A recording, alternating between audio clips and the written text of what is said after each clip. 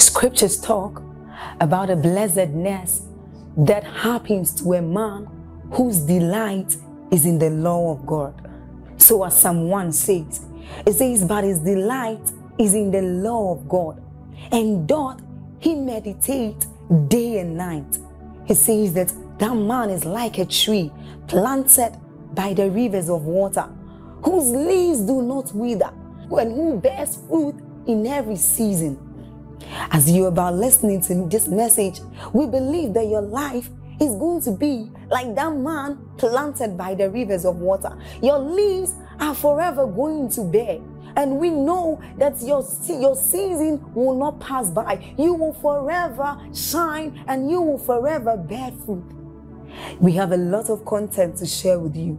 So we would entreat you to subscribe to this channel as well as like us hit that notification bell to receive more updates from us because we know that whatever content here is going to set you on course at every time. It's going to make you attain whatever stature that Christ wants you to attain. Thank you. Your ability to do what you do is not just a demand for it alone. That you have skill and proficiency enough to do it well. And then number three, the difficulty in replacing you the degree to which it's difficult to find somebody like you doing the same thing. Brothers and sisters, hear me. This is the exact formula for wealth. It will work for anybody, any day, anywhere. It's a principle. Unfortunately, preachers just tell you tithe and sow a seed and go and sit back and watch what God will do. Then favor will come. But because you do not understand, you will come and testify. Praise the Lord. I gave tithe or I dropped a seed in miracle service and now somebody brought one million. The question is, will you remain a millionaire after three years? Two weeks after that testimony, you, your mind takes you where you were before you drop the seed. Say, I refuse to be poor. Shout it, I refuse to be poor. I make up my mind to be wealthy. What I'm going to show you tonight, if you remain poor after this series, you were not fair to yourself. I'm being very sincere with you. When I show you what you're about to learn tonight, see, let me tell you, brothers and sisters, don't trivialize what you are hearing now. People pay millions of naira to hear half of what you are hearing. Have a responsibility over us to make sure that we hear the truth. I got a testimony that there's a pastor who is in oil and gas. He's a living faith pastor. And he stumbled across the wealthy place, part two. Just the part two.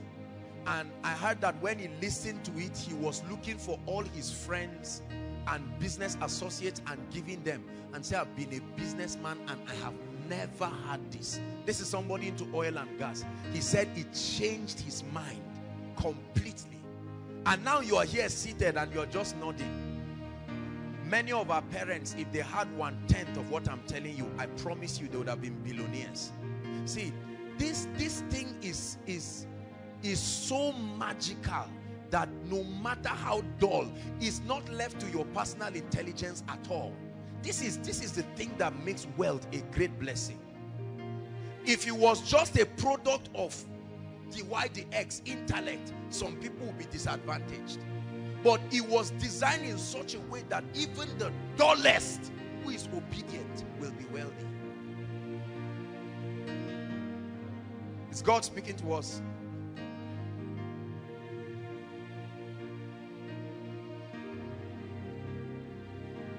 So the amount of money we receive will be in exact proportion to this. And we did a little personal evaluation. Take note of that. Let's go straight to the teaching of tonight. The wealthy place, part three. I'm on my way, on my way, on my way to better days. I'm on my way, on my way, on my way to better days. I'm on my way. on my way, On my way to better days. Multiple streams of income, right? Tonight I want to teach you the law that is responsible for activating multiple streams of income. I pray you value it. I pray from the depth of my heart that you value it. I struggled with sharing what I'm about to share today because I was wondering. See, I hate it when personally because I treasure every information and I treasure every revelation that I bring out. And um, the greatest reward that I can receive for this is not one million, it's not 10 million, it's not to say come and take a car or take a house. And that's, that's not my concern. The greatest reward for this series is that we see people experiencing the financial rain in their lives. For me, this is the greatest consolation. No matter what you buy or sow into my life is as irrelevant as whatever. It will really grieve my heart if after this teaching your finances does not change. I don't know what to tell you again. Praise the Lord. Because this is the very secret of the world's greatest millionaires. Billionaires. All of them. Every single one of them. If you have ever admired them, this is the key. I've reduced the work for you. All the tens and hundreds of books, seminars, videos, and all kinds of sacrifices has been compressed in a series for you to receive. If you don't act on it, there's no reason why you should blame God. Unfortunately, I know that not all of us will act on it. It's a sad truth. That's why Jesus told the disciples, he said, the poor you will always have with you. Meaning there are people, no matter what they hear, they will not change. And the trouble is those who don't change are the ones who will criticize us. They will get angry because they are not doing anything. And they'll say it's not true. What they've taught is not true. People, if I told you now, all of you, take off your shoes. Put your right finger. There's something I'm going to bring out and shake. Many of you say, my, my story will change because you like things that don't commit you. You see why we like fetish things? Africa, for that matter. They say, turn around and slap something three times. Say, go, it's done. The man leaves rejoicing because that spirit of laziness. We hate it. Whenever you tell people it's up to you, they say, no, do it for me. Just do it and give me the result. God will bless you. Unfortunately, life is not like that. We like a wolf. That a wolf mindset has done a lot. We like telling people thank you. Just do it and say, really, just for me? Unfortunately, not everything in life is a gift. There are things that are rewards. They will commit you. This is one of them. That's why people like lottery. They like inheritance. Is one word that we love in Africa, inheritance. He died and left it for me. That's why we love that scripture, the wealth of the wicked. Ah, yeah, yeah. Notice I've not touched that scripture. The wealth of the wicked is laid for me. You will grow old. That scripture was written, wait, hold on. That scripture was written before our forefathers were born. Is that true? That scripture was even written before colonialism. And those who quoted it died without touching the wealth. My Bible says God gives to a man that is good in his sight wisdom and knowledge. And then he gives to the unbeliever to heap and to gather that he may give to the believer. We think that it's just because we're singing praises and tithing. Then Dangote will get up one day and say, um, Shahoma, there is an anointing on me. I don't know what is upon me. Please come. Um, this is my sugar company. Is your own.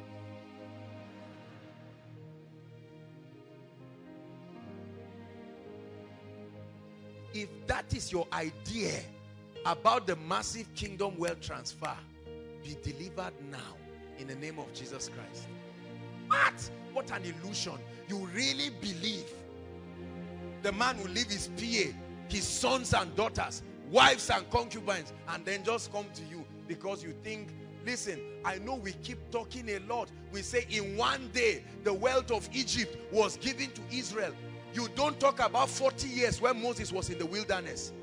You don't talk about Moses' compliance. You don't talk about his repeatedly going to Pharaoh. We see courage. We see audacity. We see character. We see discipline. Right? We see faith. We see patience. You leave all of that one and the only thing you see is that in one night, I've told you preparation takes time. It's manifestation that is instant. We talk about Joseph becoming the prime minister. We forget that a woman lied that he raped her. Do you know what it means to be scandalized on your road to destiny? We forget all that one and we just say in one day, Joseph came up. From the day he helped someone to the day of his reward was two years.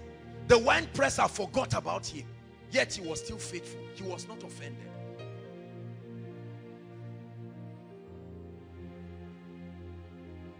We are the ones who have deceived you. Pastors, pastors are the ones who have deceived sincerely and innocently, but very wrongly. And we must admit it. I told you many pastors do not have financial literacy. Why? Because all we do is copy and paste. I go for a pastor's conference, I hear what a man of God I honor says. And you see, the fact that you are, um, the wealth of ministers is, is, is a very special case in Nigeria because a man as a pastor may not have financial intelligence and yet be rich because of the way ministry is done. Are you getting the point? He is fulfilling the law, although he does not know it, so he is rich. And he thinks the reason why he's rich is just because he's anointed. No, sir. This is the reason. So many people are under pressure. If I must be rich like my daddy or papa, I must be a pastor. Right? So there are so many people who are not called into the fivefold ministry. Racing to make sure they start churches in a hope that if I have plenty members, imagine what it will translate to. Let me tell you something funny that someone told me. I think it was a year or two ago. We were somewhere and I paid for something and the person looked at me. Said, man of God, you are the people who enjoying ministry. See all the plenty crowd in Koinonia. You see, you see why he's poor. Because in his mind, he's saying, Abba, if everybody, prophets of it, everybody gives you 10, 10,000 or 1, 1,000.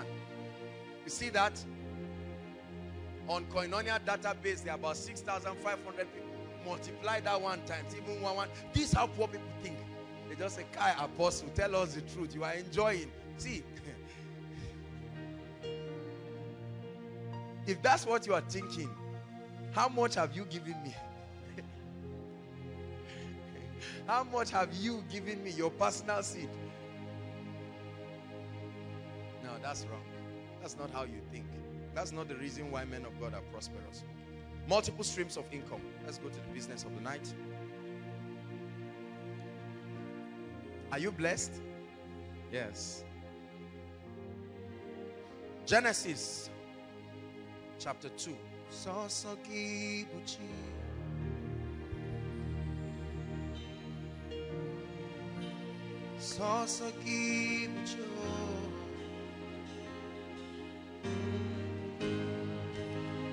Buchi. Sasaki Buchi. Sasaki Buchi. Eh, Sasaki Buchi. Sing it one more time. Sasaki Buchi.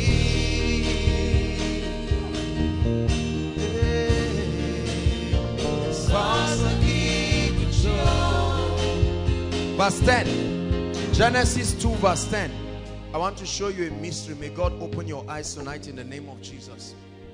Help us, media. It's possible. Genesis 2 verse 10. Only you are worthy. Everyone read. And a river went out of Eden to water the garden. And from thence it was parted and it became what? Four. Next verse. The name of the first was Pishon. That which is that which compassed the whole land of Havilah, where there is what? Stop. The Bible says, look at me. From Eden, there was one river. And then it said the river parted itself into four streams. And it started telling us that every one of the stream had a particular treasure. In one of it, there was gold. And the Bible says the gold is good. It started listing precious metals and so on and so forth. Are you getting my point now? So, one river parting itself into four streams. A particular man of God said this and I believe so much. The secret to oceanic wealth is having multiple streams of income. A stream can dry, but an ocean never dries. Never dries. An ocean never dries. A little stream can dry, but an ocean will never dry. This from scripture becomes for us a revelation into constructively building a robust recession-proof financial life. Multiple streams of income. The greatest limitation with the Nigerian economy and the Nigerian citizens generally is the mindset that operates a single stream of income. And that single stream of income is usually our job. Job. That job mindset is one of the greatest financial stumbling block in my opinion. That's what has stopped many people. So, an average young man in Nigeria operating under the 6334 system, you know, completes his secondary education and then goes to the university to study for maybe four, five, six years or whatever, and then may add a master's or whatever it is. And the moment he graduates, the first thing in his mind, now please don't get me wrong, just follow me, I'm not against job. But the first thing is his, in his mind is to be employed. It's not his fault, it's not her fault. The system designed you that way. Are you getting me? So the moment you finish, the first question elderly people ask you is, ah, uh, -uh, you are finished now. You say, yes. Say, so where are you working? Not what are you producing? Not are you deploying your potentials? Where are you working? So it trains you to serve. It trains you to work. Now the trouble is this. The average salary of a young graduate or even somebody that is working well in Nigeria ranges within 50 to 100,000. Is that fair enough? That's about the amount, right? no matter how careful you are with that money, it cannot fund your vision. Are you getting the point now?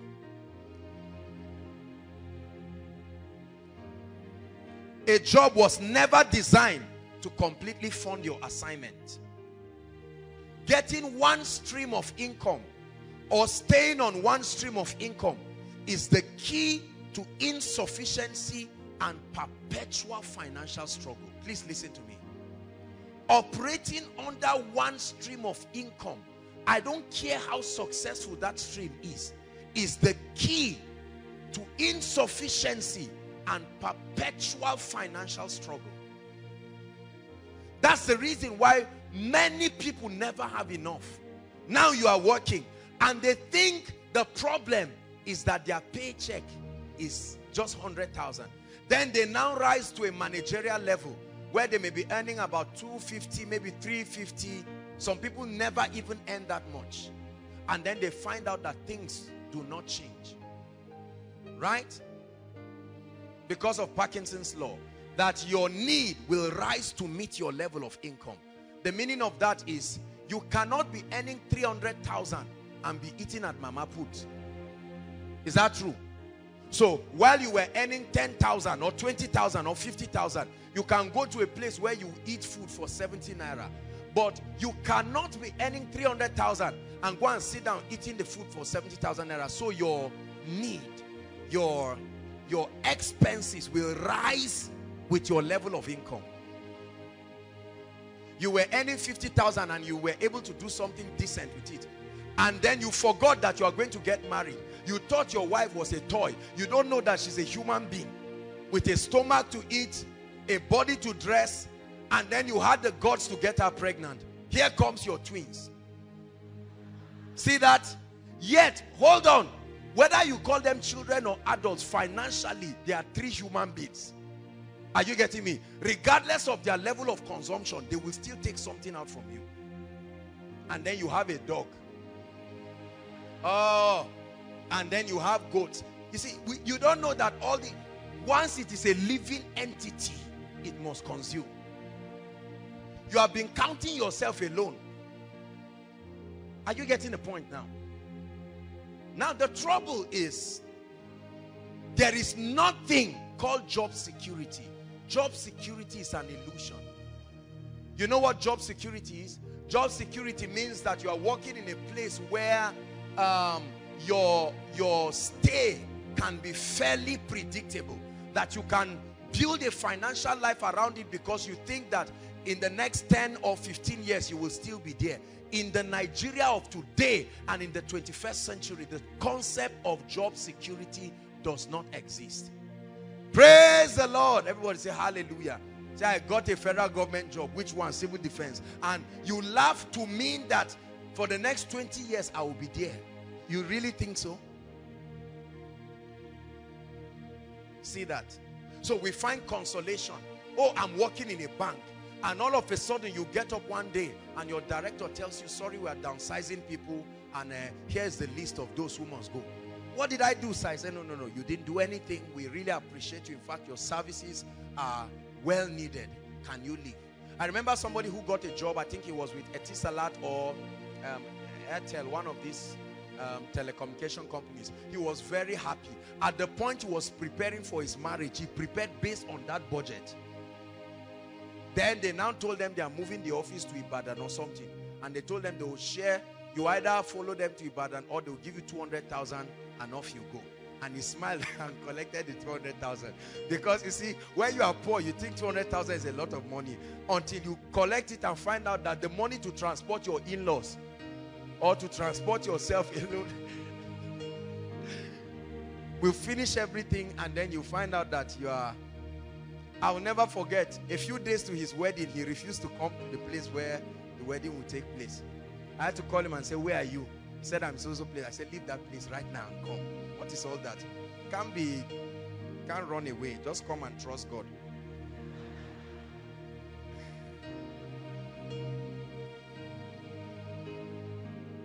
Hmm. That's very true. Nothing in this world will satisfy. This is a part of the song I love. Jesus, you're the cup that won't run dry. Every mundane, listen, the Babylonian system, this cosmos, the economy of the world was never designed to make you rich. It was designed to strangle you to death. That's why I like that song. He is the cup that will never run dry. Jesus, you're the cup that dry. Can you sing just that part one more time?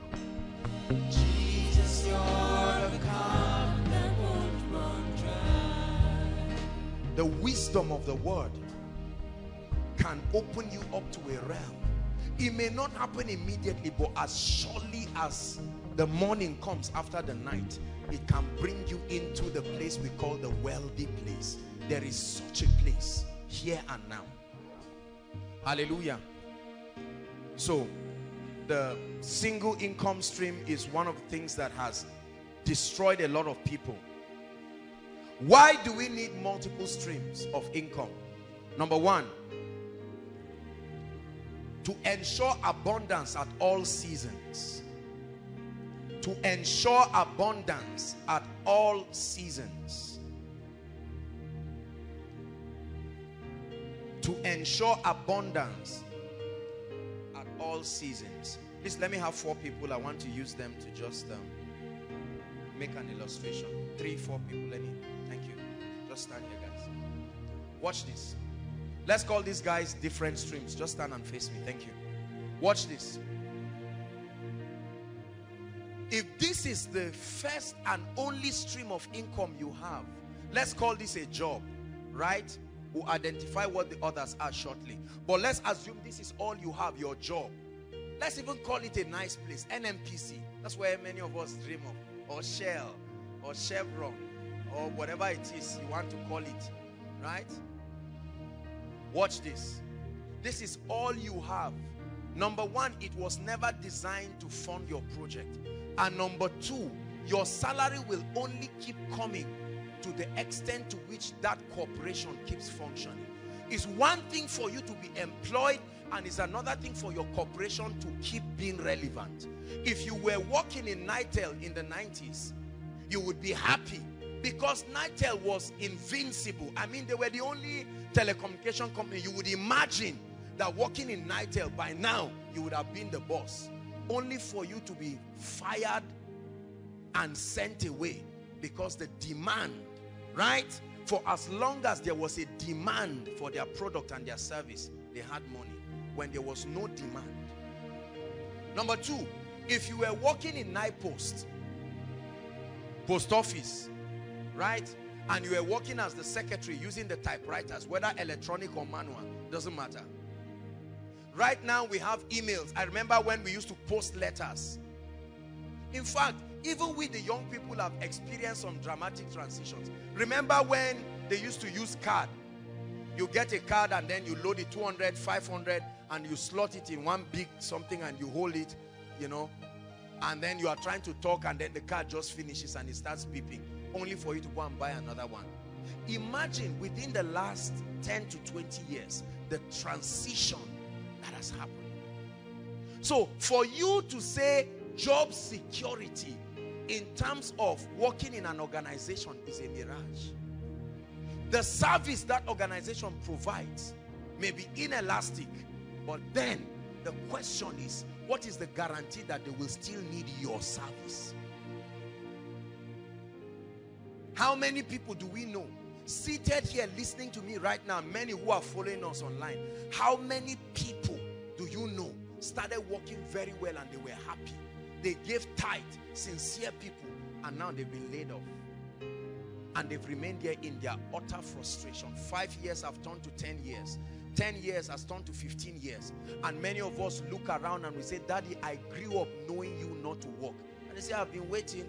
Uh, even last week I submitted my CV. And look at this. He started that when you were five years. Now you are 25. For 20 years, he's hoping that one day somebody will need his service enough give him a job.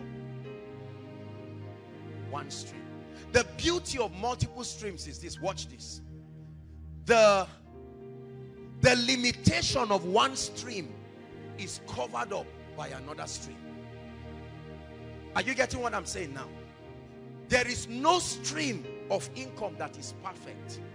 What you can do is to combine streams of income that complement one another so that the lapse of one is covered by the availability of another. Are, are you getting the point now? This is part of the benefits. For instance, do you know that it's one thing for you to get a job, but it's another thing for you not to be paid? There are workers in some states that have not been paid for how many months? Almost six months. Now, you notice. I'm sorry to say it, but most of the civil servants in Nigeria don't pay them for two to four months and they are dead.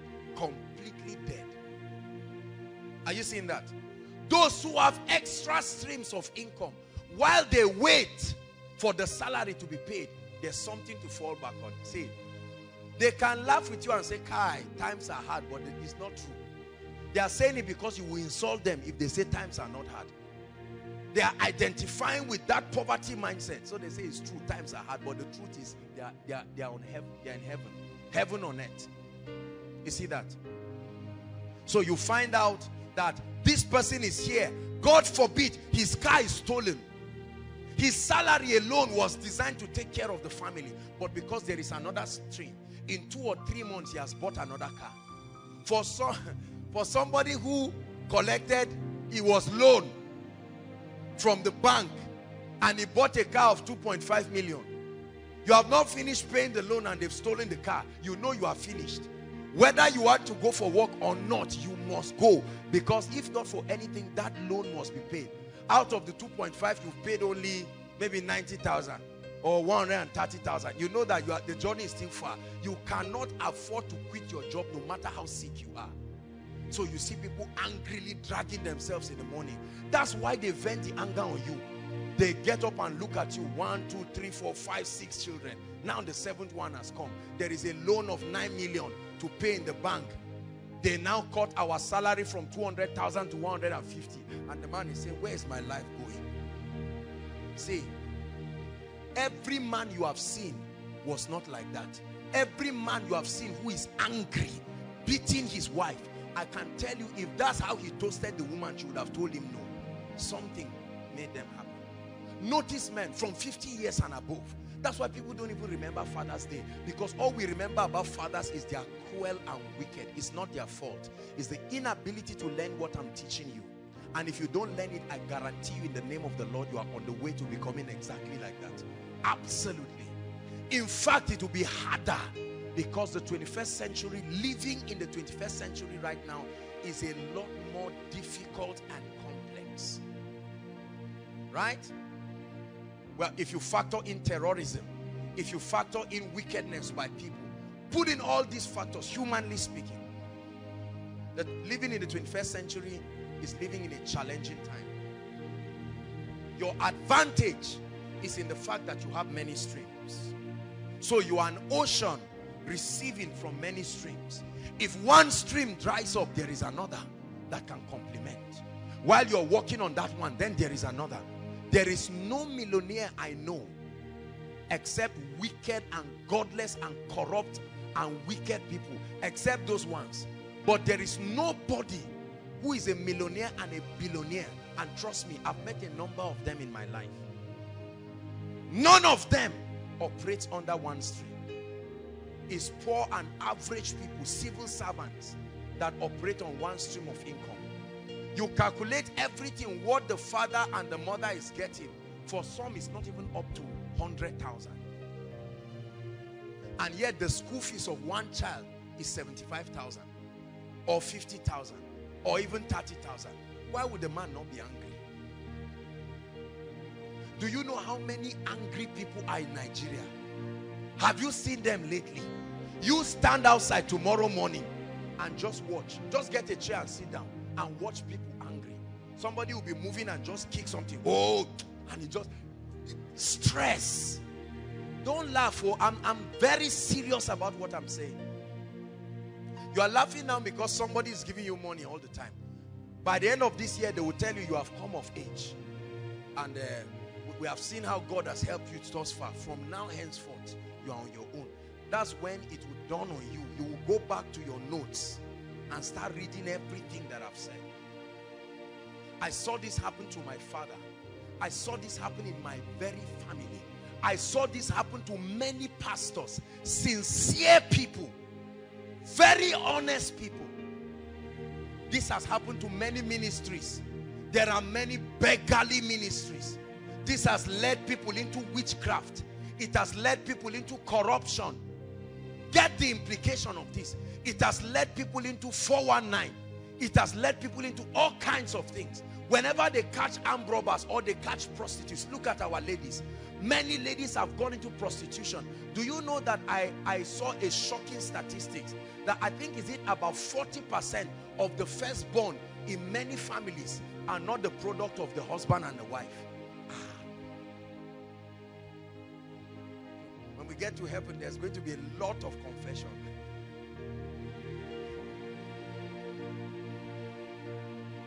Very funny statistics. Multiple streams of income is the key to surviving financially in the 21st century. Activating multiple streams of income, hear me brothers and sisters, is the key to surviving the vicious tide, the vicious tide of economic hardship because it will happen. You have not seen recession yet. More will come. It's in your Bible Right? Talking about the heavens over people becoming like brass and their earth becoming like iron. It will happen. You can't stop it. You can only exempt yourself. I choose to exempt myself. So I rather pay the price now and exempt myself. Hallelujah. Bless you guys. Thank you.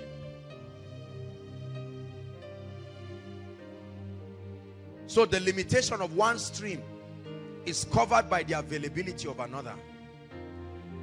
Now watch this. I want to teach you something about the benefit of multiple streams of income. Write two words down. One, cash flow. Please, quickly, let's save time. We have to finish um, what we have. One, cash flow. Number two, write capital projects. One, cash flow. Two, capital projects. You are not, listen, you are not truly financially free if there is no structure around your life to deal with these things. Watch this. Cash flow talks of the money that keeps coming consistently to be able to meet your immediate needs and your expenditure. Is that true? Capital projects or the money, the income for capital project talks about the resource, the financial resources that you will need for all the capital projects you have, building, you know, school fees of your children, and, and all of that, savings and so on and so forth. Now watch this. Our parents were taught so much about long-term projects. So they bought land, right? They have cattle, they have goats, they have a lot of things that can meet long-term projects, but they did not make arrangement for cash flow. So you can see a man that owns 10 houses, but he cannot produce 10 naira to take his child to the hospital under emergency. You will think the man is stingy because you that's how many of our parents, many of us now think our parents are giving some other people money. They may not necessarily be doing that. They are just financially illiterate and they are suffering the consequence for it. So they do not, they didn't prepare for today. They were focusing so much on tomorrow. They forgot that it's until you are alive today that you can meet tomorrow. Are you getting that now? So they forgot that there will be needs. How many houses have you gone to that you know the people are rich and sincerely they cannot bring out 1,000 naira to go and buy chicken somewhere and just come and prepare it because the man is broke. He may say, I don't have money. You think he's joking, but truly, truly, there is nothing. That's a poor financial life. Yet he has land, right? Yes, he has resources. Who owns this container? He's the person. Who owns this Coca-Cola depot? He's the person, but there's no provision for this. Now, the trouble is, in a bid to remedy that, the younger generation, our generation has focused entirely on cash flow to get money to always be in your pocket and we're forgotten about tomorrow. You see the mistake? So I need money now. I want to buy the watch of 20,000 now. I want to buy the trouser now. So you see somebody and say, man, this guy is rich. The watch of 20,000, shoe of 15 or 20,000. You are wearing a suit of this. You calculate everything on him and he's standing. He's wearing 200,000 and you are beguiled to think he's very rich. Steal everything he's wearing and he becomes a beggar instantly because he's not preparing for tomorrow. Are you getting what I'm saying? So financial literacy is the ability to keep that balance such that you can eat today, you can live well today, and then at the same time prepare for tomorrow. There are many of our parents, you will start enjoying their money when they are 80 years. At 8 years, the project they started 20 years will now come to fruition. But at that time, they are too old. They can't do anything. They would die and leave it for uncles who will swear that they will charm you if you don't leave that money alone. And you will quietly just leave. Are you seeing that now? And then we, the younger generation, are so obsessed. I'm amazed to see the way our generation is so obsessed about producing instant results. Watch people that graduate. Everybody wants to show I'm working. I now bought a car, a BMW, and um, I don't. I no longer use the road. I now fly. I fly. I fly around. I'm flying to this place. I'm flying to that place, and then you carry your phone and say, "This is this is iPhone. iPhone what? iPhone 6." Have you seen the speed of the internet and so on and so forth? And then we use this to lie to ourselves that it means we are rich. That's why every rich man will look at every small boy just behaving and nod his head and say this guy is about to regret it. Unfortunately, most of our sisters have been trained to identify those kind of people and define them as being rich. So you come back and say, is that brother that asked me, and they say, which one? The poor one or the rich one? And then you say the rich one, meaning the one that held that phone, the one that the, the watch or the shoes and all these were glittering. You, are, you will be in big error.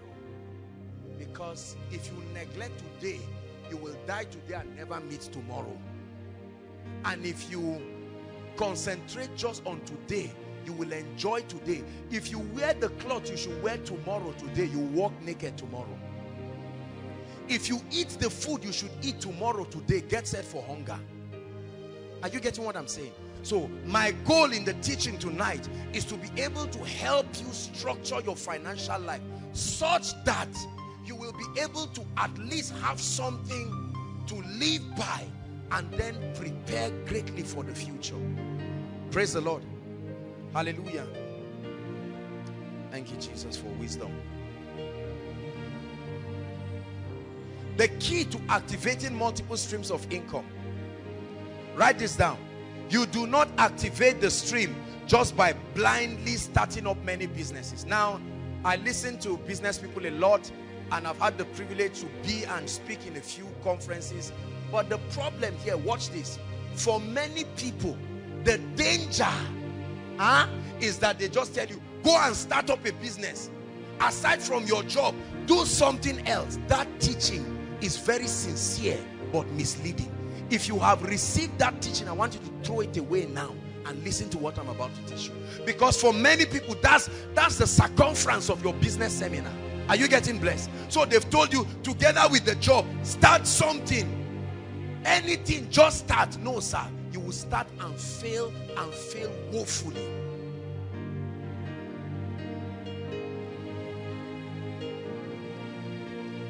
Write this down. God's system for activating your streams of income. I want to teach you the kingdom system. There is a Babylonian system of establishing multiple streams of income that ends you in frustration, ends you in penury, or you will be rich but at the expense of your salvation. You will be rich but at the expense of very important things in your life. Everything that we do we must do it from the perspective of the kingdom and this is where men of God must balance I believe in in reaching out to business and getting a lot of business people and their ideas. But please hear me you must be careful. Not everything taught in the business world should just be lifted and brought to church hook line and sinker. Many men of God go for a lot of secular business meetings and they teach them a lot of things and they are motivated I've, I've listened to all those people to trust me. But you must sustain a kingdom paradigm to be able to edit out the things that are not consistent with the way of the Lord. Because anything that is not founded on the truth of God's word I don't care what it is it will not last. Or even if it produces result for you it will take something else out of your life. It is the blessing of the Lord that maketh rich and will not add sorrow to it. Say amen so what is God's system for activating the streams of income? Let's hurry up. Proverbs.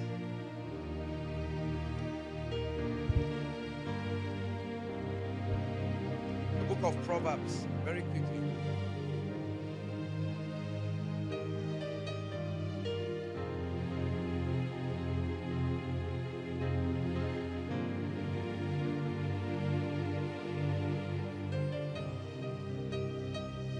18 verse 16 quickly.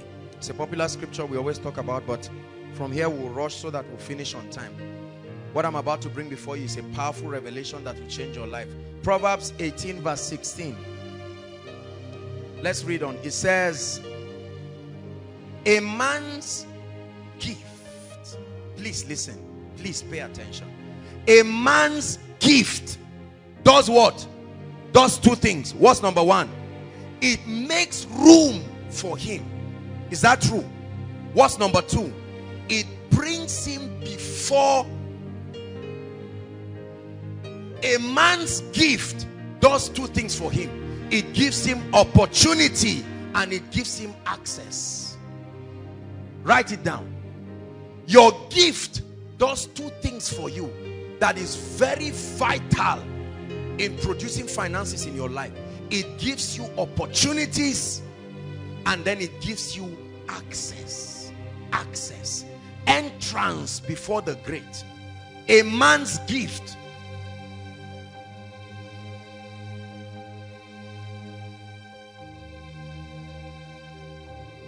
So how do you identify the streams of income in your life?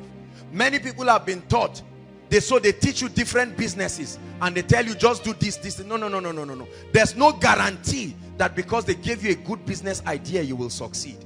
You see the mistake. This is where we mess up and we mislead people a lot. Write this down.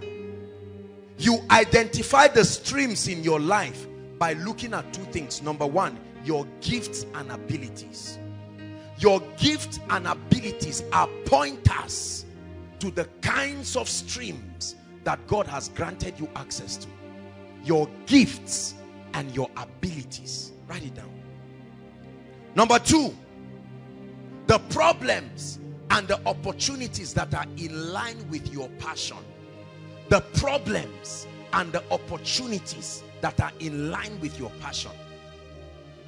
These are the two scriptural ways of identifying the streams that God puts in your life.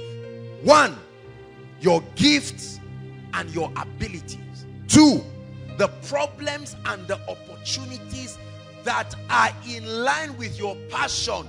Not just any problem.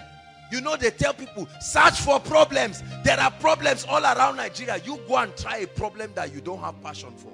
And that's when you know that problems are not things you just solve overnight. It must be in line with your passion. Passion is the key that sustains you in a place. It is passion that puts you back up when you fail. Anytime you commit yourself to anything you are not passionate about, you waste your time, you waste energy, you waste resources. Is God helping us? Write this down. Every gift and ability you have is a potential stream of income. How true? Every gift and ability in your life is a potential stream of income.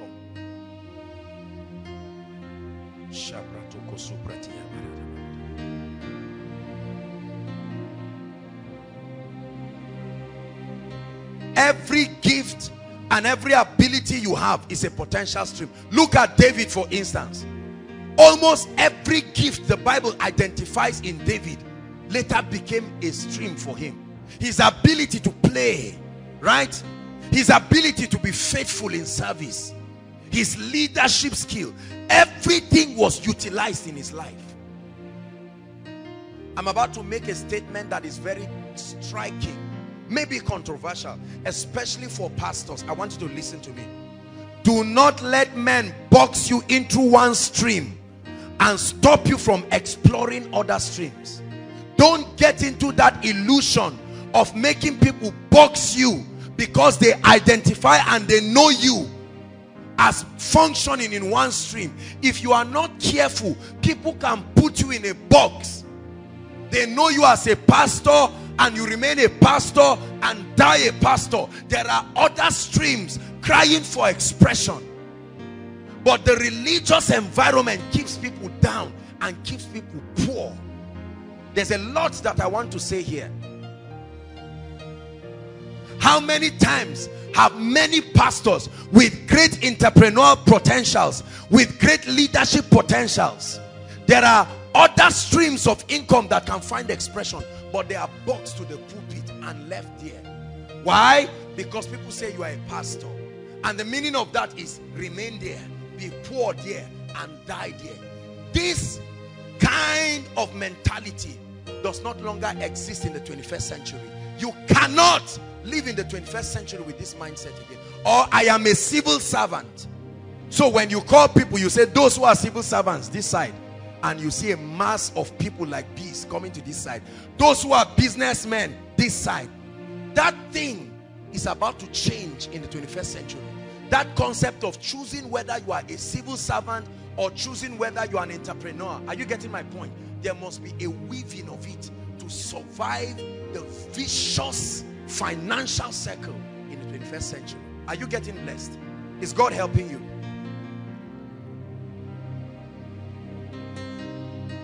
There are many pastors. I say this with a particular bias for pastors because We have said pastors are wicked people because pastors have been caught in all kinds of financial scandals in church, eating God's money. Pastors have been found manipulating people and doing all sorts of things. And the reason is because they have to respond to the necessary frustration that comes by having a single stream of income. Now the man is a pastor and is earning 20,000 with five children, right? You can imagine what that is. That you give a pastor a house and one car does not mean he will not need money again. And they themselves have not been educated. They have not been taught. They lack financial literacy. Are you getting the point now? So the pastor has to necessarily keep preaching messages that will manipulate people into because the pastor's children must go to school. Is that not true? The pastor must also eat. Some of you, after the service, you go to the pastor's house. 10 people immediately after, after service and all of them deserve to be fed. This has brought a lot of problems for people, especially those in ministry. Listen to me. Every potential you have that God put in you is crying for expression and you should never go back to the Lord without giving it expression. Every gift in you. I plan in my life that every gifting and every potential His Majesty has deposited in my life will be adequately deployed. Praise the Lord.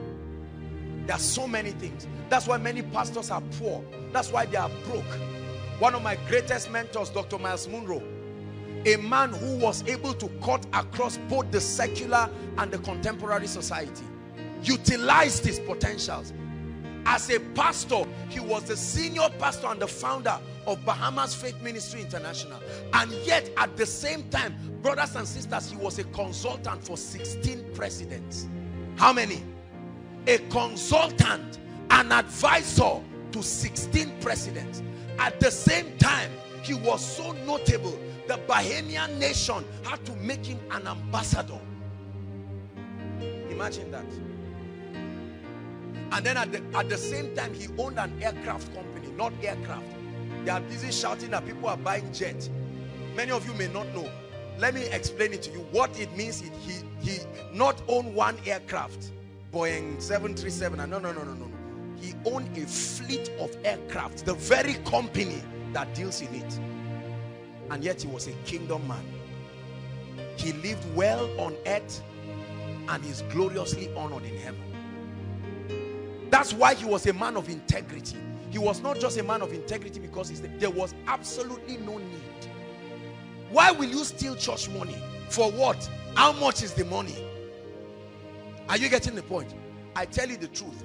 Not exposing people to the different giftings in their lives to deploy it and then leaving them say, it's like you are hungry, you fasted for three days and then they make hot food, nice food, rise up and steaming, right?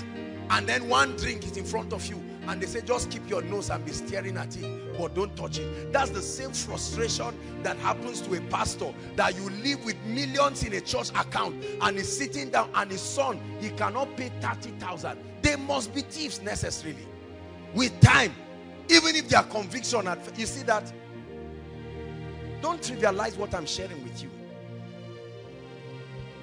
That's the reason why many many pastors cannot be bold in teaching the truth because they have inconvenienced too many people. And God is helping us tonight. Say after me in the name of Jesus. I am gifted. Shout it in the name of Jesus. There is a gift upon my life. There are graces upon my life. There are abilities upon my life. And I will deploy every one of them to become a stream of income. Even if God tells me to drop ministry today I will never be poor for the rest of my life because there are other streams. Are you getting me? Before God called me I was doing something. Is that not true? You see many of us act as if oh God found people lazy. Go and read your Bible. Everybody God called into ministry he called from he called them from a standpoint of diligently doing something. Moses was standing his father-in-law's sheep. Is that true? Every single one. Peter, they were all fishermen. God does not call lazy people. Please don't make it look like being in ministry is a license unto laziness. There are too many things I can do with my life to bring me stream of income. If I'm not a preacher, at least I can speak. Right? There are so many things. There are books to write. I have different thoughts on different areas. I can document my persuasions. There are all kinds of financial and business vehicles to set up. So don't you see a man of God rich and just think it's church money or just think and think "Eh, are people not dashing them money you see articles blackmailing men of God all around and saying a man who was poor but now he has as though he's not supposed to be blessed people are arguing and complaining about one jet two jets my goodness I don't know what will happen by the time we come if we need 100 jets we will buy all of them I guarantee you very unapologetically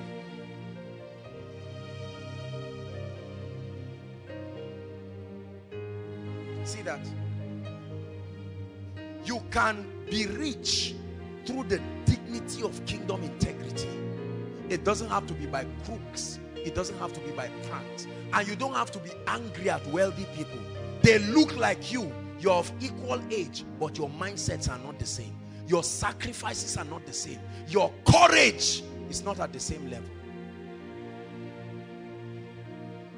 Hallelujah. Never allow anybody keep you in one position and not allow you to deploy your talents. There are many of us who are seated here. Bishop T.D. Jakes, the, the pastor of Potter's house, right? He wrote one book, Woman Thou Art Loose. Just one book. And that book brought him $4 million. Multiply that by 210 naira thereabout that gives you the equivalent in naira because he deployed his writing potentials. It became an added stream of income.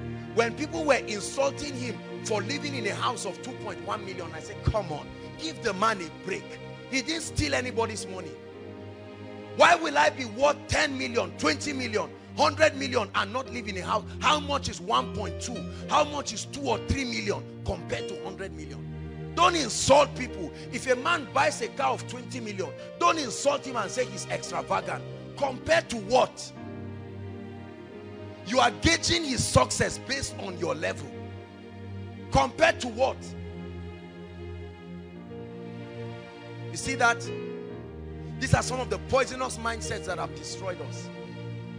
We never forget, we forget the fact that these guys are sick their tape ministry, the books that they have written enough will feed them for a lifetime. Just the books. Bishop Oyedepo, for instance, I hear that he does not even collect one naira from his books. And there are at least 60 books he has written. How many of them are bestsellers? Yet we, we, are, we are the first to criticize people and run down men of God and run down people because how much is the peanuts you get from congregations compared to the wisdom. See, the Bible says, if any man lack wisdom, let him ask, not let him criticize those who are walking in it.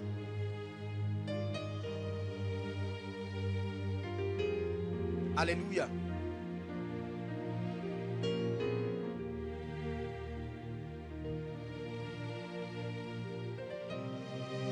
Ministry for me alone, with all the blessings of ministry, is only one stream of income. There are so many of them in my life that have been developed and others are still being developed. I will never be poor. It's not about being a preacher. It's about realizing that once there is a demand for what I do, and I train myself in the ability to see, to do it.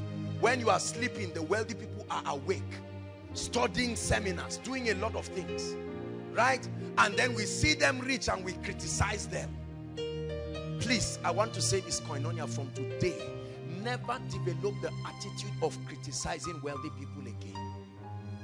You will never be like what you resent.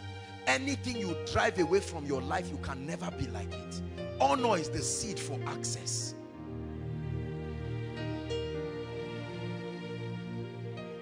Hallelujah. I'm friends to many, by the grace of God, many wealthy people and many millionaires. I'm not so daft to be around people who are blessed and not ask questions. See that? This is very important.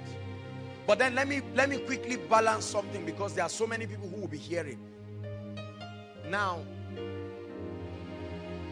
I explained to us that there are all kinds of streams of income. Watch this. The trouble I have, especially with men of God in business and other things, is that they do not know how to draw the line between the different fragments and facets of their lives. Are you seeing that now? When Jesus entered the temple, what did he do? He took a whip and he was flogging those who were doing business in the church. In the church. Jesus showed us that there is a difference. As a man of God, I have my corporate life. I have other dimensions, leadership and all of that. You see that? I cannot come into church and be doing business in the church. No, no, a thousand times no. The moment I do that, I'm taking advantage of the loyalty. Are you getting that? Of the people and using it for my... That's why you never come and hear me talk business in church. No, sir. The Bible says, give to Caesar what belongs to Caesar. Right? I cannot bring up a product right now and force everybody in Koinonia to buy it. It is my product, but a lot of men of God are doing it. This is where the balance must come in. You cannot use the vast people that God has given you to train and build and then squeeze into them. No, no. There is a difference between different aspects of your life. That's the reason why God fragmented himself into different aspects. You cannot know Rapha by studying Jireh. Jireh is a dimension itself. Rapha is a dimension itself. Tsidkenu is a dimension itself. Is that true? El Shaddai is a dimension itself. But all of those names belong to one person. I am. So he said, who do men say that I am? And they were calling different dimensions of him. As a, as a man of God, you are dimensional. While it is true that you do not stay on one place, you must know where the boundary lies. Never carry business into church and go and manipulate people. No, it's wrong. Very wrong. If you are here as a man of God and you are doing it, stop. Stop. You must give people an opportunity to make their decisions. They are not daft. Of course, I understand sometimes because of our kindness and generosity. Do you know why I'm telling you this?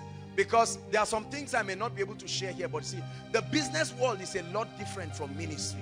In the business world, you must give people room to take responsibility for themselves. As a man of God, you can ruin your church in one moment, right? I know there was a situation that happened in, in one church down in Abuja. It's, it's one of the popular churches around where there were some people who brought some land to sell and then they brought it to church and they designed one scheme and members were happy and all of that and then somehow the people were dishonest and they swindled the people with the church. The man almost lost his ministry because people started saying our pastor is a thief. He connived with people to eat our money.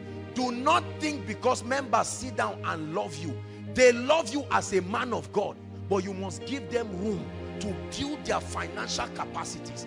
Don't over pamper people in the name of kindness. They will stab you when they fail because the business world is a world that requires its own maturity. Are you getting me? Many people do not have business sense and you expose them in the name of church to businesses or some things. When things go wrong or it fails, they will kill you.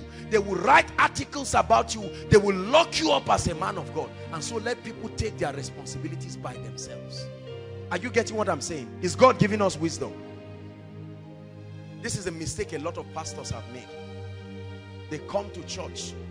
Anybody just comes in and says, I'm a lawyer. I have some land. I am a this. I have that. And then the pastor comes and announces. And because people love the pastor, they now run around and come and say this is our pastor this and that and that or they raise money to buy church land you know, all kinds of things please i'm telling us especially for men of god who are here who are upcoming maintain integrity maintain integrity As a man of God, define the jurisdiction of your work to the ministry and stay there. Now, there are other platforms you can create, like Sunday Adelaja, who created a lot of business platforms. If you want to do anything that is business in the church, set up a committee or a club and let people subscribe to it. Spell the terms of it and let the people know that they are venturing into this not in the name of the church, but at their own risk. That way, whatever happens, the integrity of the church is preserved. Is God teaching us? I told you I struggle to teach you what I'm teaching you because this is what you would teach in a business class that you pay hundreds of thousands. But this is giving us wisdom, especially for those of us who are leaders. Don't carry the zeal of business ideas or whatever and come and project on people. That they are praying in tongues and they hug you. You don't yet know their attitude towards money. They will stab you and kill you. Is God helping us? Let's continue. So your streams of income should be around your giftings, should be around your abilities, your streams of income.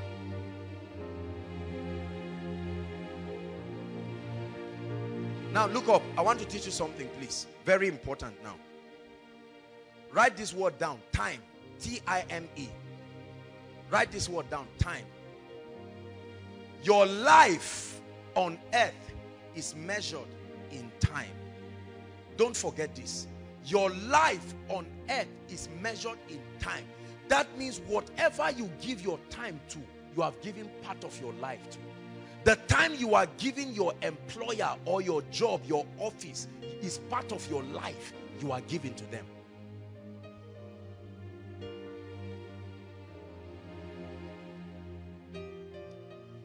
Write this down.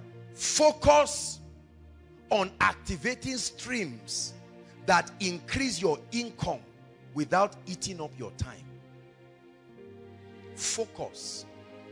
There is only limited time you have. Everybody has only 24 hours. You cannot have 25 hours in a day.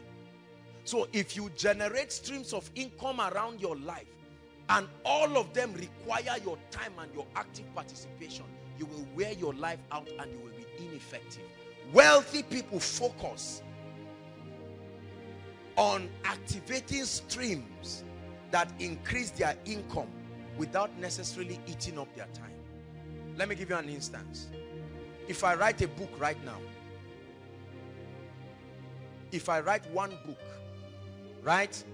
I communicate my thoughts. Maybe books on, there's so many books that I have. I'm just waiting for the Lord to release me to begin to write books. I know many of them will be bestsellers because I will not just get up and write books. I will humble myself and meet those who have produced bestsellers and ask them, I have the content, but what of the marketing? What of the publicity? Never do a thing until you have consulted with the best of the best. You will minimize mistakes. You will make instant progress. So I can write a book right now, for instance, and then release it. And I can be here preaching and somebody is buying my book in a bookstore. Doesn't know me, has never seen me, may never see me, right? And then income is coming into me. Millions and millions of income coming because I'm documenting my persuasions.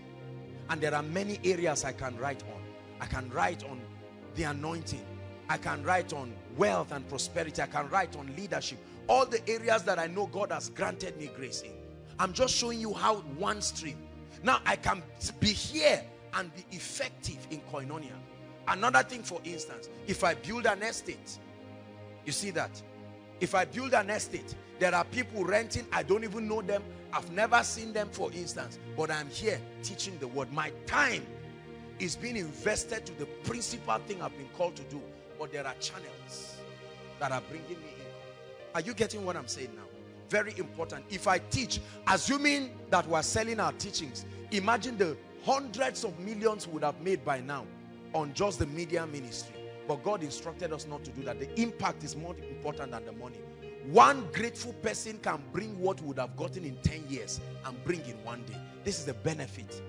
Every time you dispense value, you must be rewarded. Whether you sell it or you give it free. It's a law.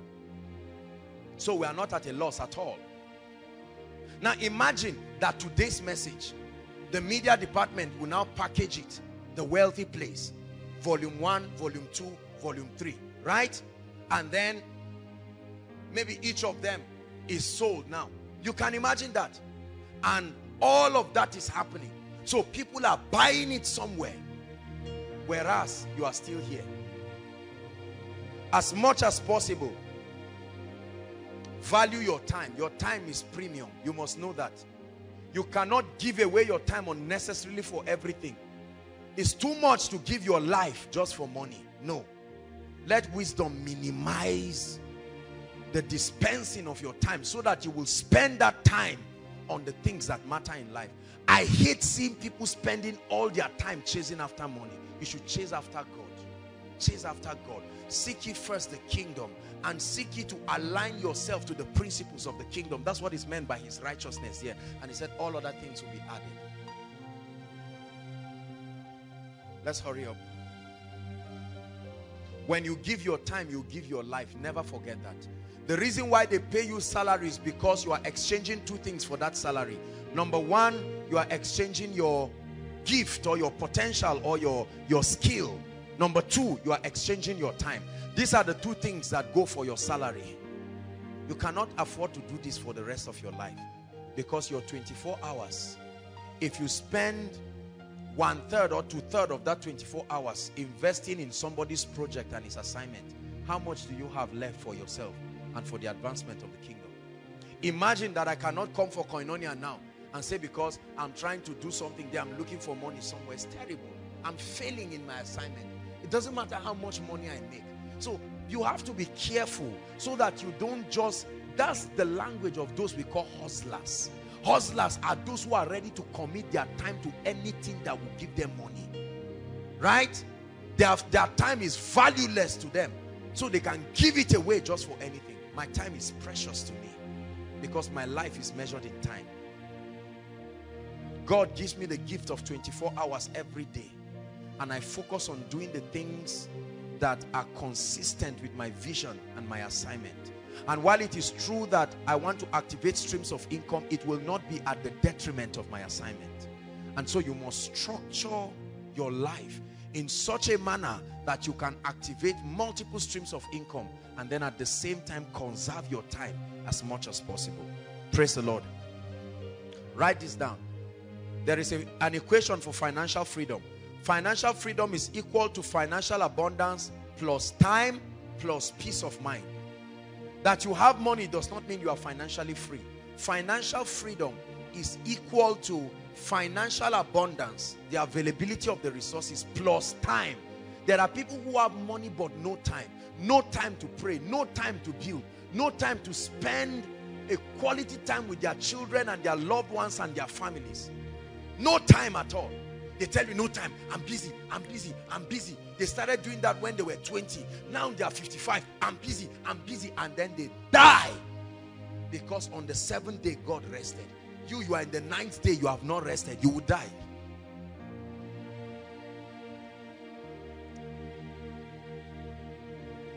Hallelujah. Let me tell you the reason why it's so easy to be rich in the 21st century. In the school of prosperity, especially in the 21st century, almost any and everything has a demand. There is a demand for almost any and everything. This is the reason why there should be no one here seated under the sound of my voice that in the next three years, in the next five years, should be poor. Impossible.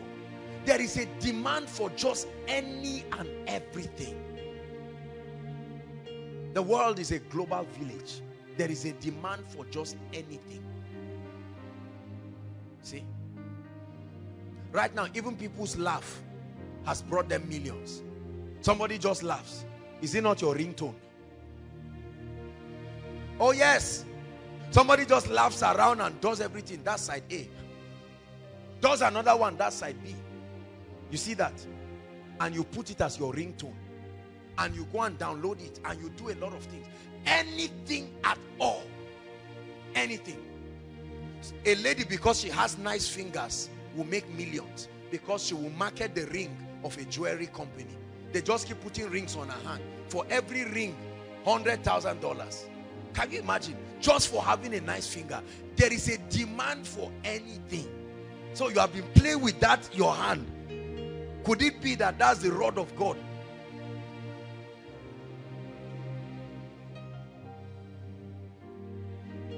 Just for being fine.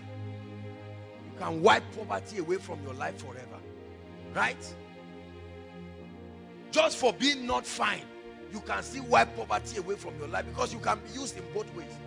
It depends on the message that is being communicated. I'm, I'm just, I'm speaking generally.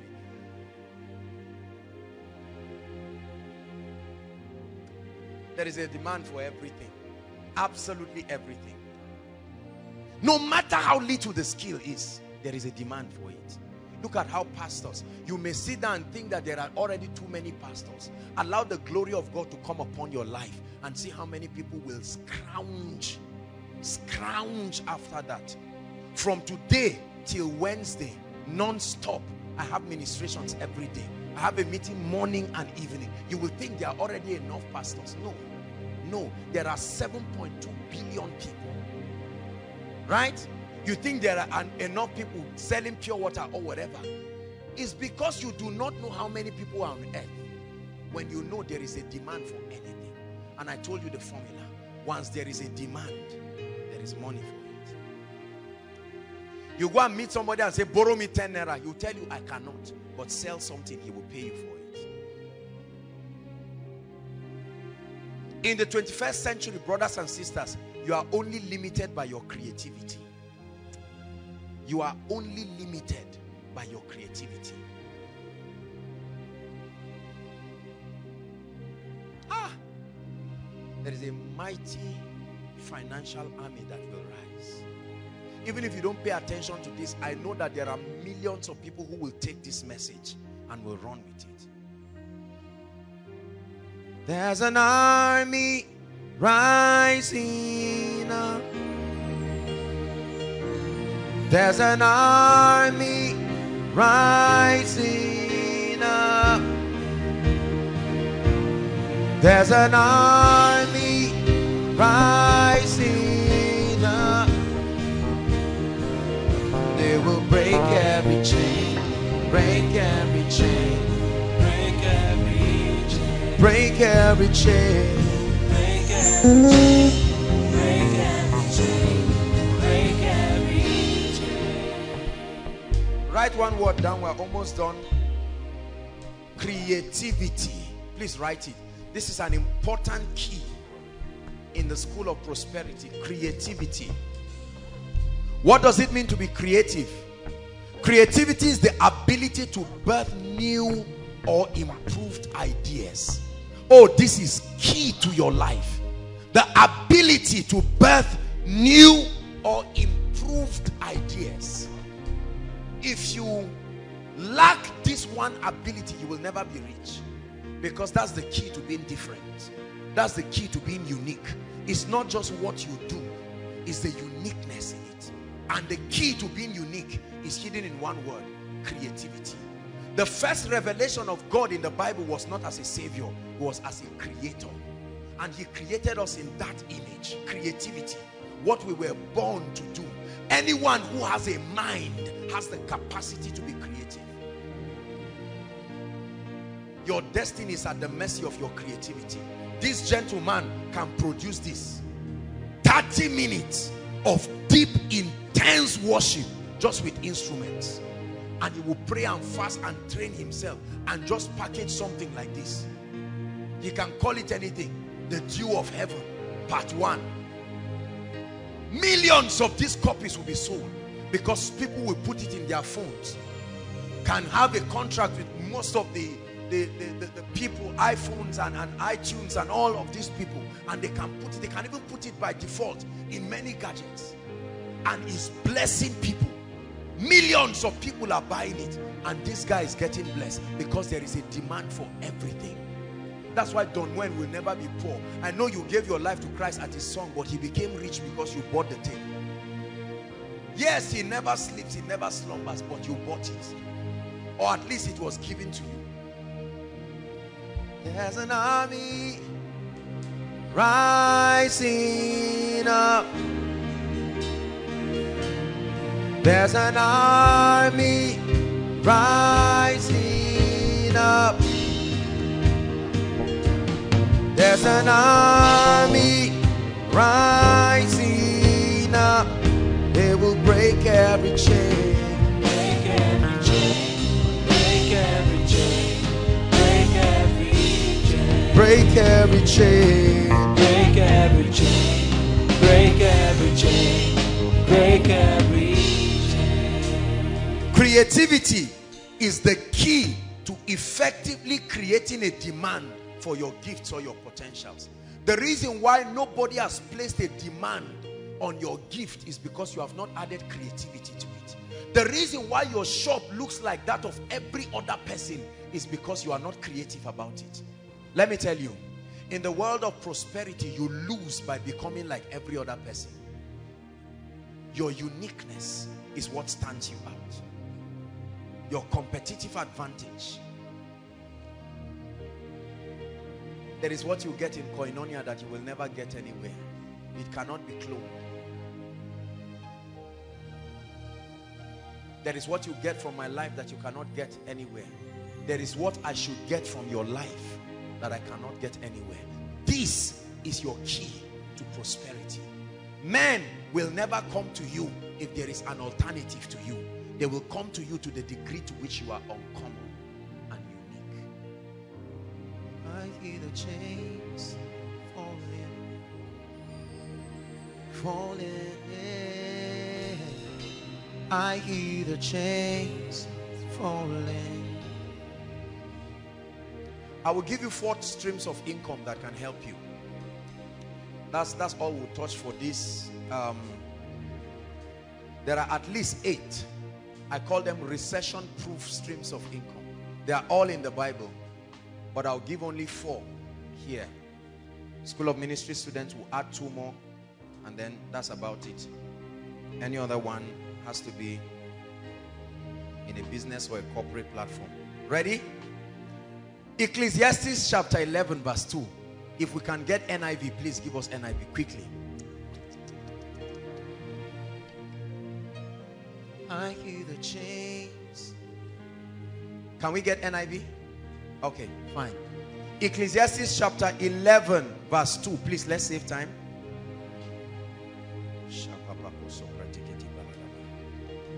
Will you break every chain? Break every chain. It says, give portions to seven, yea to eight, for you do not know what disaster may come upon the land. Right? What other version do I have? It says, it says, I, can't remember the version now, not, not amplified. It says, invest in seven places, yea, in eight. Um, what that version? I don't know. One of these new versions.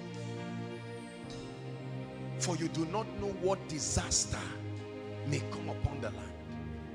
In other words, scatter your streams. Right? That concept of lay your egg in one basket is nonsense. Throw away that theology. Poor people said that. That's why they are poor. When the basket falls, what do you do? You die with it there. Listen. Thank you. God bless you. NLT.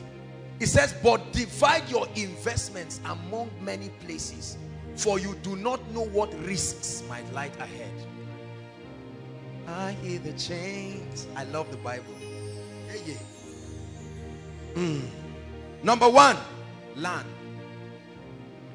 Land. Everybody write it down. Land. Open bracket. Land and anything you can get under it, on it, and above it. It's all called land. You know it as real estate. Land. Together with anything under it, on it, and above it. Look at me. You are not rich if you do not own land. Are you hearing what I'm saying? Write it so that you don't forget. I don't care what else you have. You are poor if you do not own land. Because land is a fixed asset. It cannot be stolen. Even if a bomb falls on that land, it can only affect what is on it. You will not see a big hole suddenly looking at you. Land is one of the greatest communications of God's justice and mercy upon the inhabitants of the earth. I'll stop there. Land. Two, education. I'm giving you four fail-proof streams of income. Under education, write the following. Anything, whether speaking, writing, or setting up structures that transfer knowledge. Education is all about imparting knowledge. The Bible gives us a clue into becoming rich. He said before the coming of Christ, knowledge shall increase. There will be an unsatiable demand for knowledge. That means anything you do that will transfer knowledge to people is a guaranteed source of wealth. There's nothing to hide. There's no secret about it. There's no secret there in the first place. Education, speaking. How many people rake in millions of dollars every week just because they are able to communicate? They are not just talking, they are transferring knowledge. Imagine that this was a business meeting and everybody is paying 100,000 for the seminar. Calculate. How many people? 100,000 times all the people we have, including all those who are online. And I'm doing the same thing. I don't need to talk louder. I don't need to shout more. The exact same thing. 10 years after I have preached this, or I've said this, or I've delivered this lecture, I will still be getting paid for. Education. One of the cheapest aspects of education is writing. The ability to document your persuasion. For as long as you think there is something you want the world to hear, you can document it. The only problem is what many people call book writing is nonsense. They are just hungry people looking for money. So there is no excellence and no creativity. And at the end of it, only 100 copies are sold. And the bookstore tells you, please get out. But there is a key. Purpose-driven life. Right? Rick Warren, that one book brought tens and hundreds of millions of dollars. It was so profound, they had to create a workbook for it. Love and respect. There are many books that have become bestsellers, rediscovering the kingdom. Because individuals documented strong persuasions that rattled the ideologies of continents. Could there be a persuasion in your life right now? That you need to birth and bring out. You are sitting upon a gold mine and yet you are crying. Crying for food and crying for water. The only limitation to your life should be the voice of God, not lack of creativity. Is God speaking to us? Education. Number three, your job. Your job. Paid employment. It's a stream of income. So your job is not bad. You can get a job. At least you receive salary from it. And the beautiful part of that is that your salary can solve your short-term needs. Because you know every month a fixed income is coming. So it can give you room to focus on other things that will take time to build.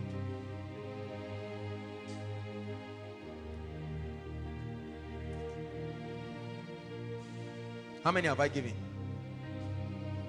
Uh, let's stop at the last one. Transportation.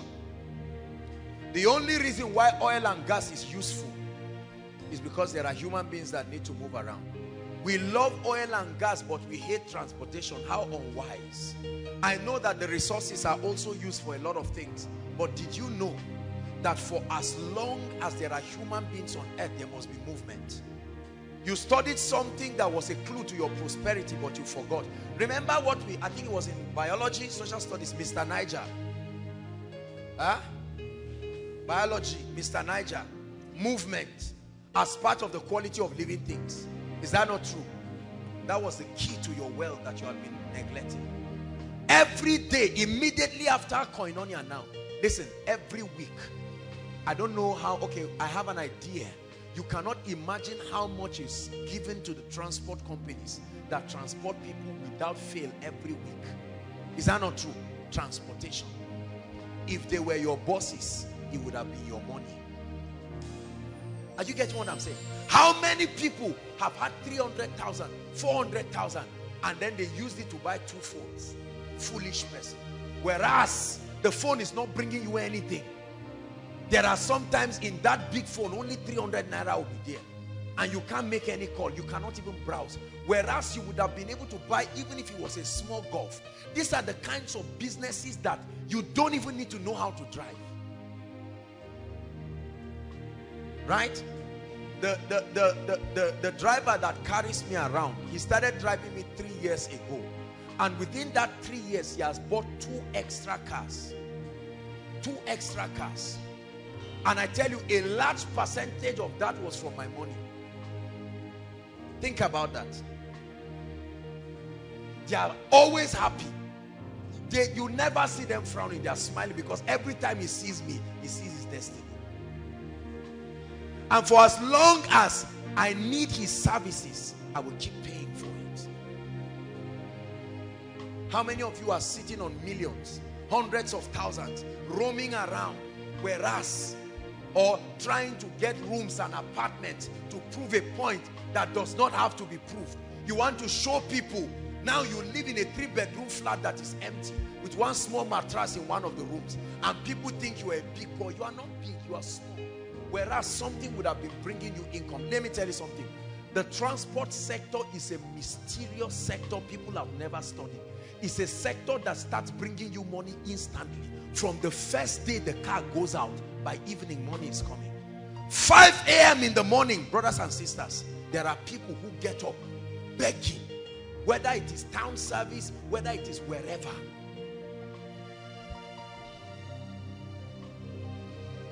I know someone who bought Keke Napep, right? He just bought one, I think second year or something like that. And then when he bought that Keke Napep, I think about 12, 12,000 comes in every week. 12,000. He just went and registered it with the association, National Union, those their union. And then he's around praising the Lord and giving tithe every week. And you are saying, this guy, is a thief? No, no, no, no, no. Do you have to be smart to do that? Not necessarily. You just have to be poor. And that's why I told you there is no reason, brothers and sisters, for people to be poor. What's wrong with five people coming together? You all have 50, 50,000. Have a very well-defined term. You don't need to wait till you have one million. What's wrong with three or four people coming together?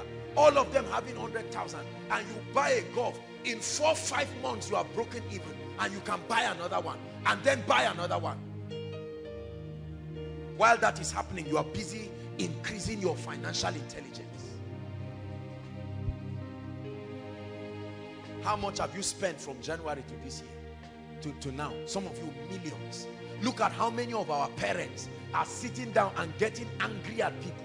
How many times did they pay them arrears of millions? What did they do with it? They went to a club and called friends and blew the money. They blew one golf away in one night to prove that their arrears has arrived. And yet we keep blaming God. But tonight God is giving somebody intelligence. You don't need to register any company. You don't need to know anybody. With an average car or an average golf, at least 3,000 is coming for you every day. This is the minimum. In seven days is 21,000 for doing nothing. You don't need to go to school. You don't need to know nobody. But there are many people sitting on. And when you see blessed people, you think they are arrogant. They are not. They are not. The income that comes to your hand is in direct proportion to the demand. Demand. The transport sector. There are many people dreaming, I will go into oil and gas. I will go into oil and gas. How much do you know it takes to start oil and gas? You want to be a thief? Can't you start gradually? How many people are sitting on 5 million, 10 million that are waiting to buy oil blocks of billions? You have eaten your own prosperity by yourself. How many people have started popcorn? Popcorn inside ABU. Is that not true? Popcorn. I'll never forget years ago when one of, I think that was in 2006 or 7, I wanted to start one popcorn machine, popcorn business in New Bamadi, and I wanted somebody to manage for me. So I needed to, I sent him to go and do a research for me on everything. I was surprised when the, the owner of the popcorn said he makes 5,000 naira every day. Every day you are eating, you bought it 30 naira, but many just like you are paying for it. And he said during orientation and uh, uh, what we call it, graduation, matric, it can skyrocket to as much as 15,000, 20,000. There is no single ice cream machine in Zaria. Not that all those ones that uh, they, they put the thing as if it's stuff. I'm talking of real, a standard. Look at this. There are many of you sitting down. What's wrong with 10 people who come in with creativity? About 250,000 will buy that thing and go and open up something. I guarantee you, in one month, you will make your money back. That's how desperate it is. Um, I like ice cream like what? There's a place in Abuja, every time they see me, they're happy because they, my money will finish there. I can't make it, so I must pay for it. Whatever you cannot do for yourself, be sure to pay for it. If you ever get it free, someone paid for it. Who is God speaking to tonight? I'm showing you streams. I'm a student, I'm young. Very soon you will find out that the difference between you and graduation is one exam. Just one. And you come out and say it's a lie. Maybe you say, get out of here, you are finished. Go, go, go, go, go, go. Why should you be poor when there is such a demand? De there are, look, let me tell you something. If you have 20, 20 of any of the things I mentioned, there will still not be enough demand. How many saloons are in ABU? There are about 40,000 students. 40,000 students or more. And about 60% of those people are ladies. Count the number of saloons you have in your campus. Are they up to 10? I doubt if they are up to 10. Servicing at least 10 or 20,000 people. If you have 1,000 more of those things, it will still not be enough. And yet we criticize those who are producing because we have been we have been wired to consume. That's all we do. Those who produce are the ones who are wealthy. Many of us are, are going into food. Question. If we don't buy the food, why don't you get into businesses that do not need refrigeration and all of these things? I, I don't know about you, but I don't like things that give me heart attack. You see that? That's why I hate businesses that have to do with many people. One person's fight with his wife will affect my diligence. I don't like that. I like to be responsible. I like to be responsible for my, my diligence or otherwise. I can't let another person's carelessness cancel everything I've done. No, if I do well, let me be commended. If I do bad, that's why all those kind of things, shipping vegetable from here to Port Harcourt, I won't get into those kind of things. You can do that, but no way. So if the man is drunk on the way, I suffer because of his drunkenness. I don't like those kinds of business. This is me personally. You have been sitting on a gold mine, wishing that things will change. But God is speaking to you, especially for those of us who are working. You are earning your 50, 50,000. Why don't you close your eyes and be determined that for the next six months you are going to save? Let me tell you something. Write it down. Never borrow money as much as possible. Or don't borrow money as as, much as possible. This is a difficult thing, I know. I'm human, trust me. It's a very difficult thing. But I want you to make a vow today with your life that as much as God grants you the grace, you will never borrow money. The borrower is slave to the lender. Say it after me. Borrowing will put you in slavery forever. You can be addicted to borrowing. Borrowing is like drugs. because it comes easy. When you borrow five naira, you will borrow 100,000. You will borrow 5 million until you find out that you are in debt of 500 million and you cannot know where it came from because of borrowing. A borrower. Some of you as you are sitting down right now, not just from anything, maybe business failure or whatever, your own personal debt that you have eaten, everything you are wearing and the room you are staying off key, you borrowed money for it. You are smiling, but there is a pile of debt that is growing and you are borrowing to keep servicing it. You will be a slave forever. It is one of the Babylonian system. That's why you notice I never talked about borrowing. I'm sorry, I know that this insults a lot of your business book, but I don't believe it. In business, we teach that there's good debt and there's bad debt. You use good debt as a leverage, you use bad debt for consumption. No debt is the kingdom's way. No debt. Say it. Shout it again.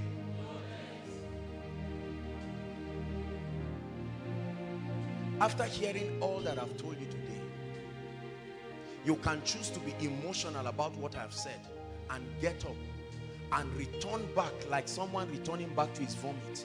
Or you can make up your mind and say, this is it. I've come to the end of myself. Lord, I'm ready to begin to take decisions. Listen, the key to producing anything in life is to adjust. The most predictable thing in life is change. Change is the most predictable thing. Whether you participate in it or not, it must happen. There are two kinds of people. There are victims of change and there are initiators of change. Whether or not you want things to change, it must change. Listen, a time will come, all your friends will rise and leave you if you don't change. You will either be a victim of the change or a benefactor and an initiator. In Nigeria, many people are the recipients of change. The wealthy people are the initiators of it. I choose to be in that category. I refuse to just be a benefactor of change or just a, a, a victim. Whatever happens, I ride with it. No, sir. We are going to pray. Rise up on your feet. Psalm 66, please. Psalm 66, verse 12.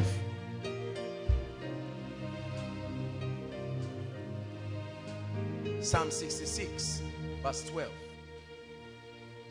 Media, can you help us, please? Psalm 66. Please, everybody, rise. This is a very serious moment right now. It's a defining moment for many of us. Everyone read. One to read.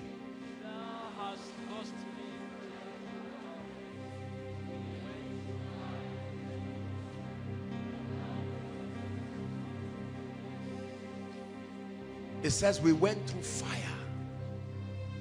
We went through water. We went through times of hardship and turbulence. But by your wisdom, you have brought us into a wealthy place. I announce to you, Koinonia, there is a place called the wealthy place. There is a place. It's a place of plenty. It's a land of abundance. And it is absolutely left to you. I read you a scripture that the profit of the earth is for all. Take over, take over. I have come to the end of myself. Take over, take over. I have touched the end of myself. Hallelujah, hallelujah. I have come to the end of myself. Hallelujah, hallelujah. I have come to the end of. Sing it from your heart. Take over, take over. I have come to the end of myself. Take over. I have touched the end of myself. Hallelujah, hallelujah. I to the end of myself. I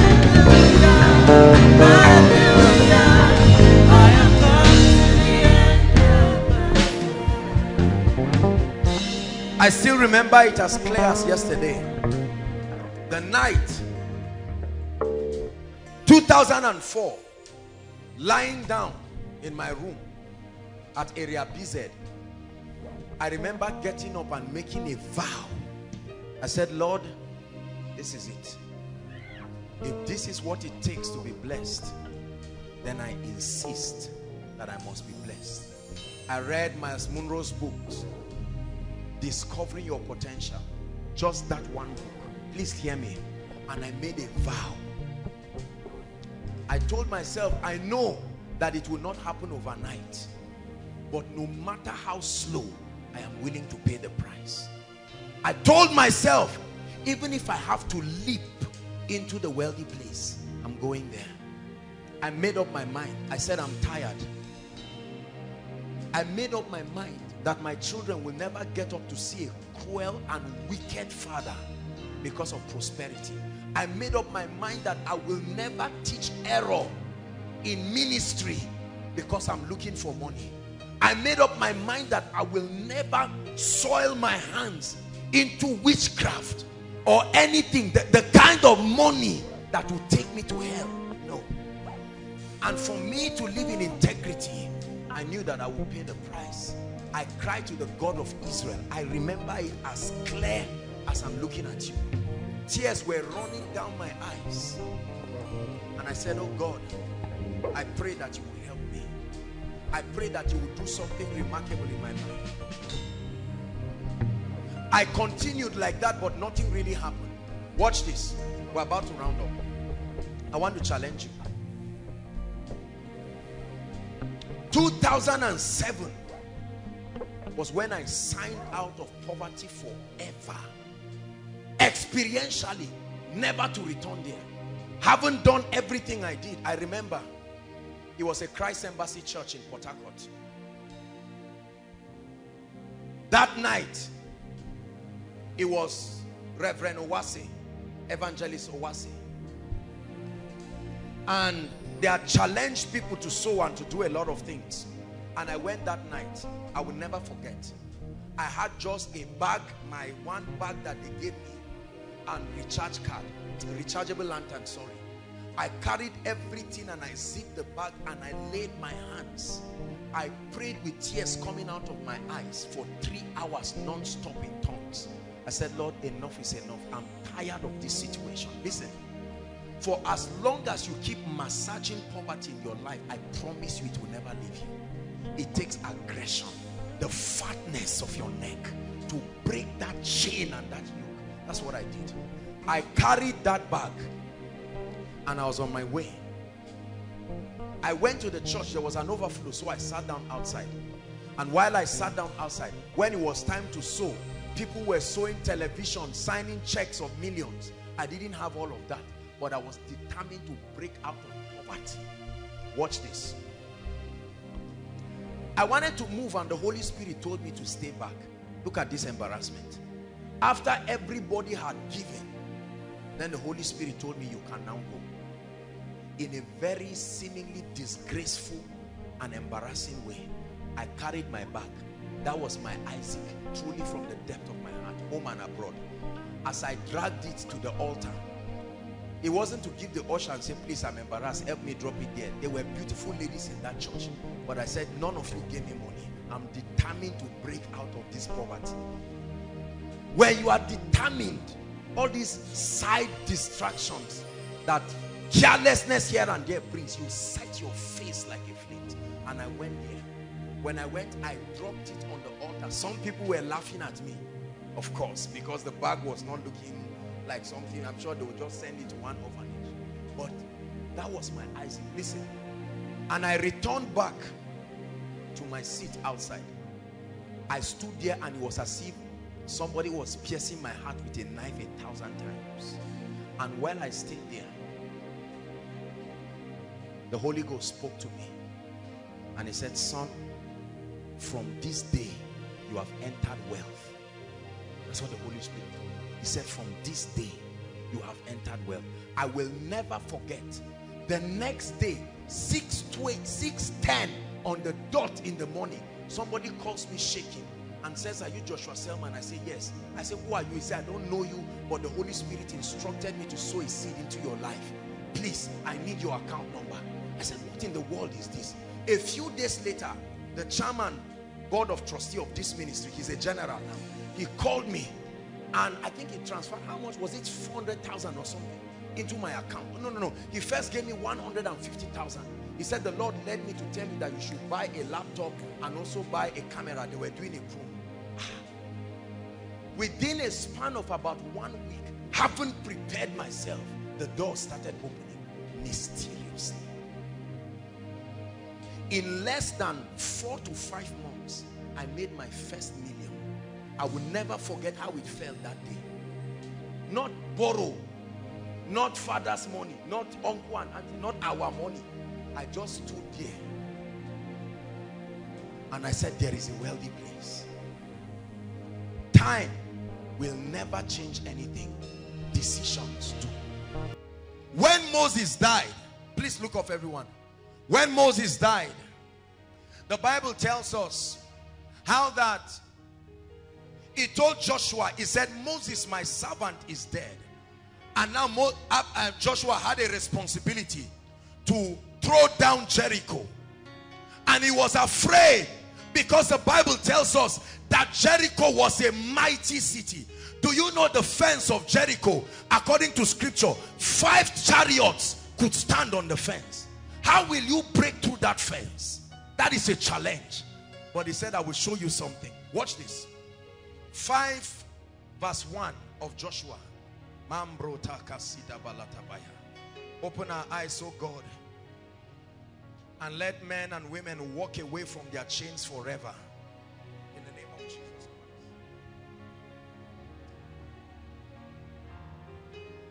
Christ. 5 verse 1.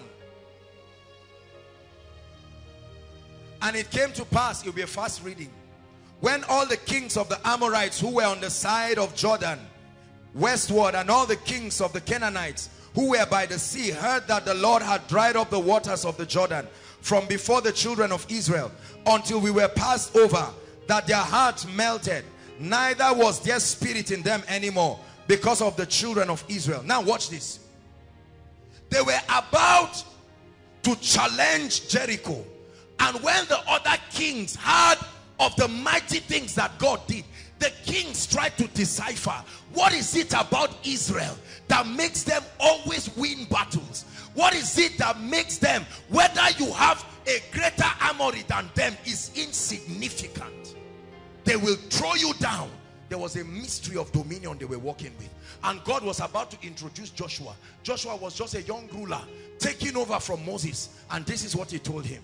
Let's see the mystery.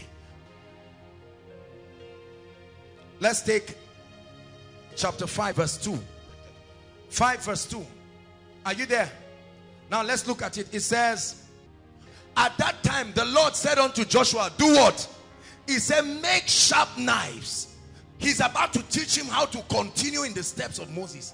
Make sharp knives and circumcise again the children of Israel the second time. Let's continue. Three. And Joshua made sharp knives and circumcised all the children at the heel of the foreskins.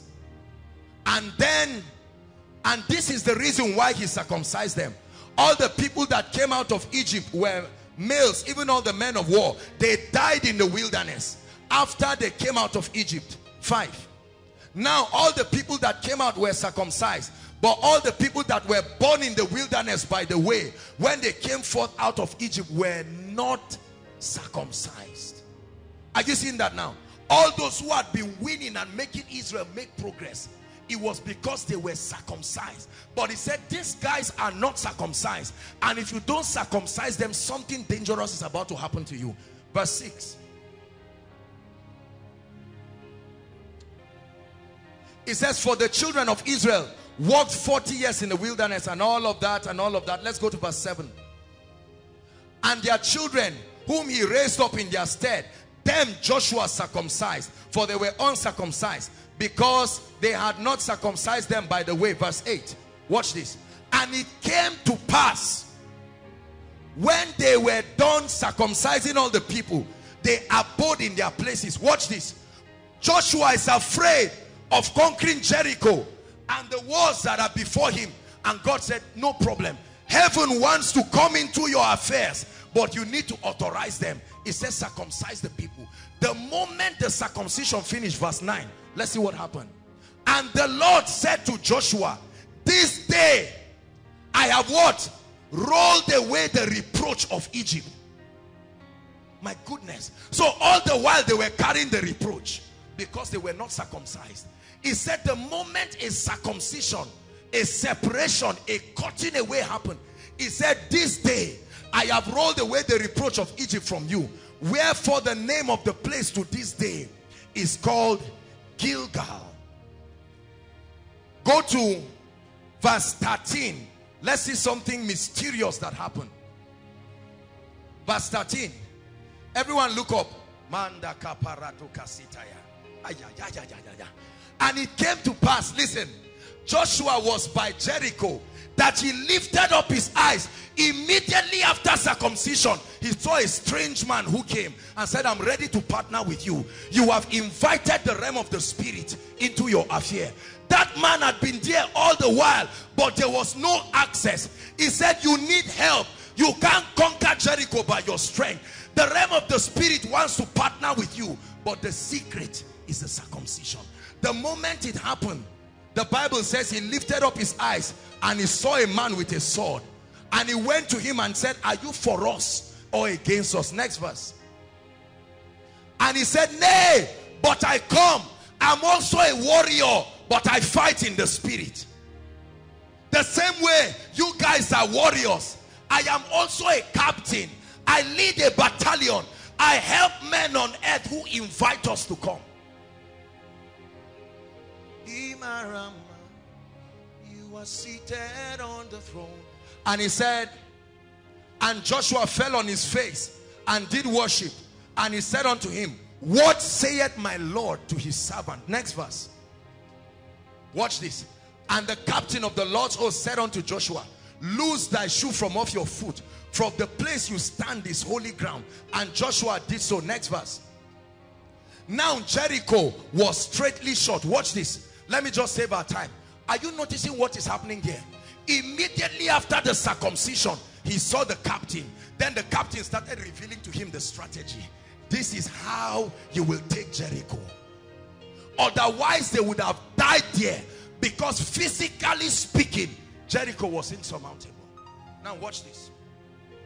Your tithe in the spirit is similar to this spiritual circumcision. Your tithe is an authorization for the realm of the spirit to come into your affairs and partner with you. This is the reason why even human beings for men, men because men are the carriers of the seed, men are instructed to be circumcised. Why not? How can a man come from heaven? We believe children are the heritage of the Lord. But you will give birth to a man and he will still go through circumcision. Are you getting the point now? Because the moment circumcision happens, the realm of the spirit comes. Come, come. Watch this. You are on your own, minding your business, trying to win the war of life by yourself. And God is saying you are doing this thing sensually. You are doing this thing carnally. You never will be able to do it. It says, honor me with your tithe. And the moment that happens, there is already a spiritual arsenal that comes to work with you. And that which you have becomes supernatural, not just natural. Not just natural. It becomes supernatural. The reason why there is a crowd of people inside and outside. Look at this, right to the road, right everywhere. Let me tell you the reason why. It is not just because this is a great ministry. It is because we have beckoned on the assistance of the supernatural. There are some people standing outside who are even shocked that they are here. When you see them, you imagine there is no amount of invitation you would have given them to come, but for the realm of the spirit. He said, I am come as a captain. In other words, the same way you fight, there are spiritual arsenals to waiting. You have been trying to fight every battle in your life just by using physical arsenals. And the Lord is saying, the earth is fighting you when you return my designated portion, you authorize the realm of the spirit to begin to help you.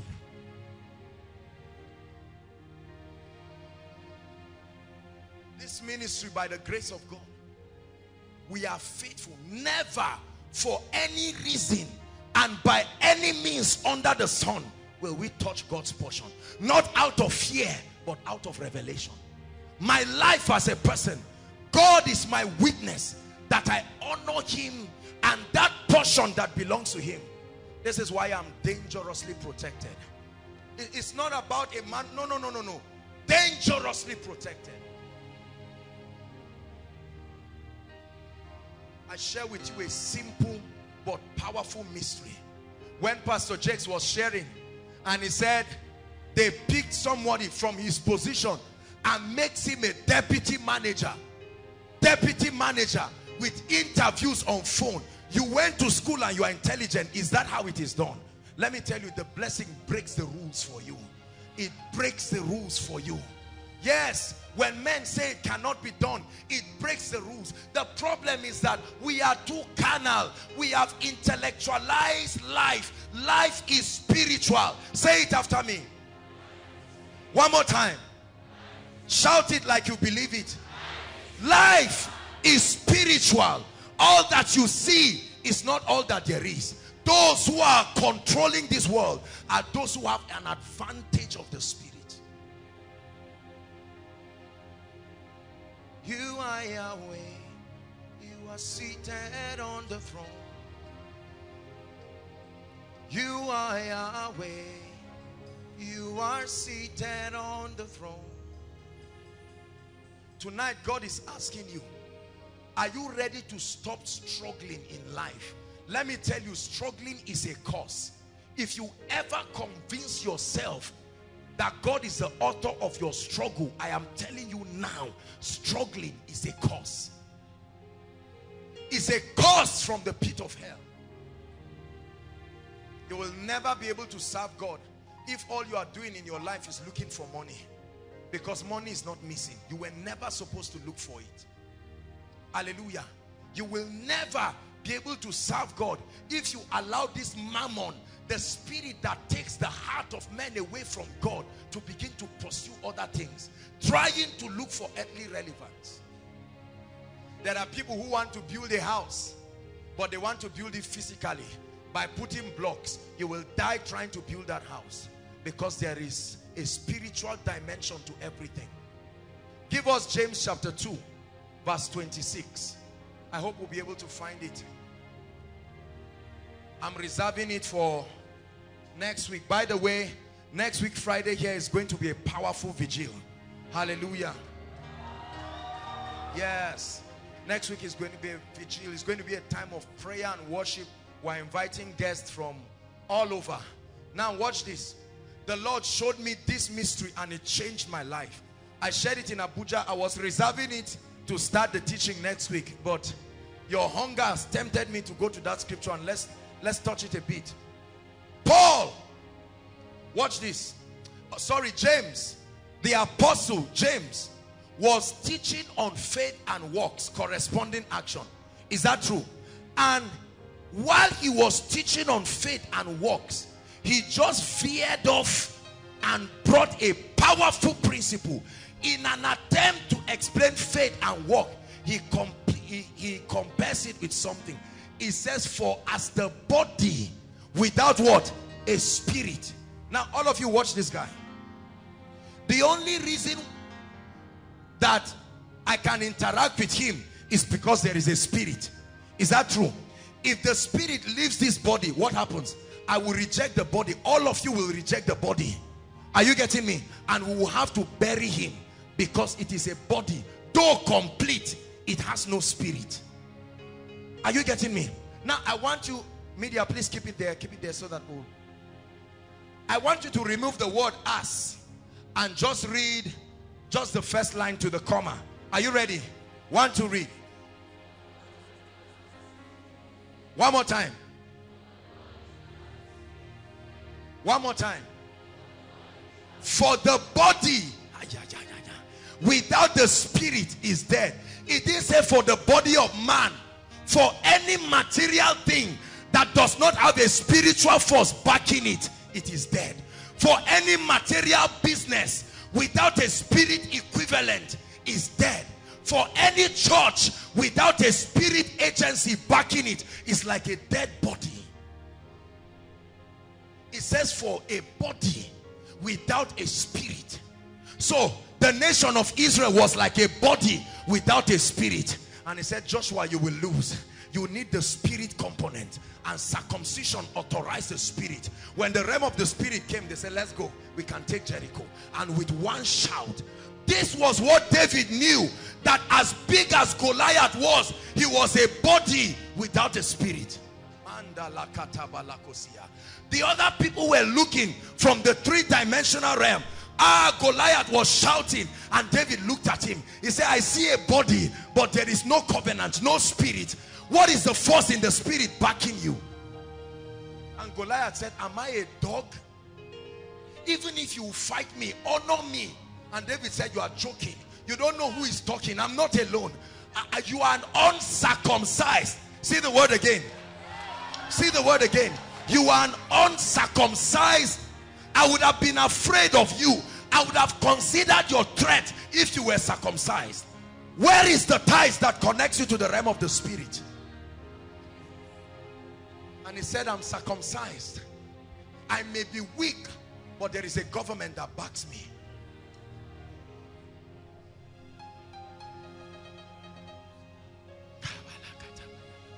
When you get this key, my brother, you will run as if Satan does not exist. I promise you. I promise you. This, you can jump around for deliverance. You can hop from everywhere. But the body without a spirit is dead. So your boss in the office knows this. And there is a spirit that backs his chair.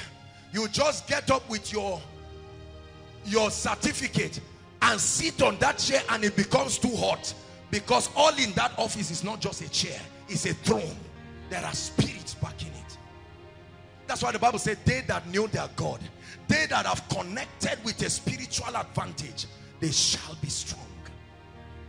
Shall do exploits rise from the realm of being natural and tap into the supernatural realm where the realm of the spirit assists you and your life will be nothing short of a wonder. How many people listen i have given up on trying to do things by my strength because i know i'm wasting my time the body in the same way the next time somebody stands and threatens you that is a body without a spirit see no matter what talk people talk i only consider you if you are connected spiritually. Are you getting what I'm saying? I will deal with you. The body without the spirit. I will make sure you leave this job. The body without the spirit is dead. You only pay attention to a man who has risen beyond the three-dimensional realm because there is an assistance, whether demonic or whatever. Are you getting me? Circumcision is that key. There are many who continue. Ah, we have a an extent. We are going to be touching on the matters of the kingdom next week, Friday. I'll be showing you certain secrets of the kingdom that it will make you almost like a drunk man. You will get up and jump and shout. Tonight, all we are doing in this miracle service is by an ancient mystery crying and asking heaven and say lord behold the sick people and already in this place there are more angels. The arsenals in the realm of the spirit are more than what you know. That's always what happens. Whenever you see me come to sit down i smile around the stage. I would have died of hypertension if i'm responsible for your healing. But we have made arrangement already. We are covered. Oh yes absolutely. We are covered. Heaven is jealous jealous to protect his own because God's designated portion. Listen. When you steal your tithe you have not only destroyed your destiny you have stolen from your children. Every time you don't tithe just know that your firstborn is in trouble. If you don't do it again you are affecting your children. Because he said i will pour you a blessing you will not have room. In other words no matter how greedy you are your lifetime cannot exhaust it so when you steal you have endangered the destiny of your children. God's portion. If anyone ever told you tithing is all about money that person lied to you or was sincerely wrong. Tithing has nothing to do with money. It's the law of open heavens. Let me surprise you. If your tithe is 10,000 and you carry 1 million and give charity foundation and you don't tithe that 10,000 you are operating under a closed heaven. Don't convince yourself that because you gave 1 million the heavens is open. It is called due process. I'll teach you next week. There is a protocol to spiritual things. Are you getting my point? Tithing is what opens your heavens. And then anything you do under that open heavens will prosper. If you like carry one billion. Give charity organization. Give for the building of church if you are not a tither i guarantee you the bible says your heaven shall be brass and your earth iron. All of them are conductors of heat. Get set for heat in your life. When the heaven is open if not if for nothing we know there is ventilation fresh air the wind comes. But when your heaven is brass and your earth is iron many of us here no matter what prayer happens in this that's why we took the communion. The devourer is authorized to destroy anyone who is not spiritually circumcised. The devourer is not a demon. The devourer is a principality. Even jesus christ acknowledged them. That's why he said he is the head of principalities. It destroys men's lives on legal basis this earth is too wicked for you to allow chance. No. I pray for people all the time. People with cancers hiv tuberculosis communicable diseases. Imagine if i refuse to be faithful. I would die like a chicken because most times i lay hands on people. And there are medical doctors here. They know that some of these things are physically not healthy. But i'm circumcised. My goodness you invoke my name in a shrine both the invoker the invokee and the ordinance. It they will burn to ashes. Ashes.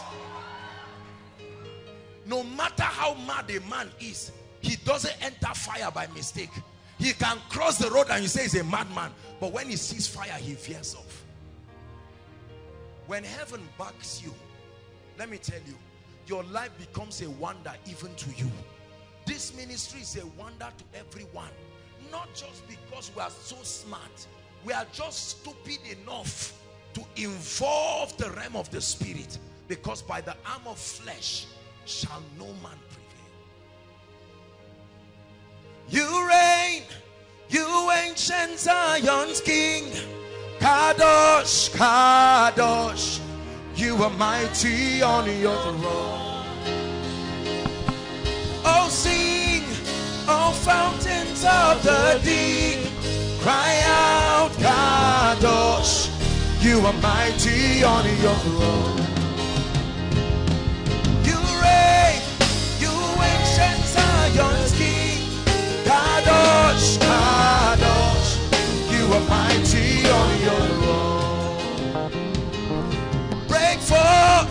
oh spirit of the deep cry out Kadosh you are mighty on your throne. Mighty on your throne.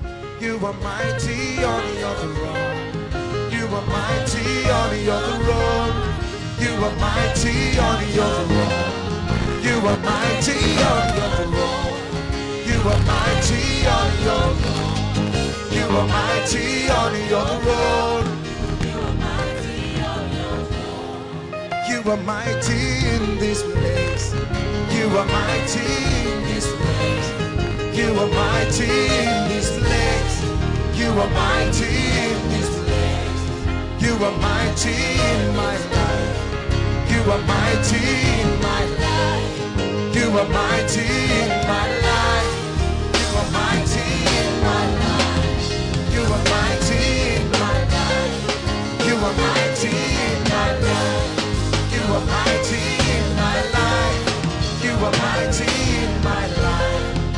You are mighty in my life. You are mighty in my life. You are mighty in my life.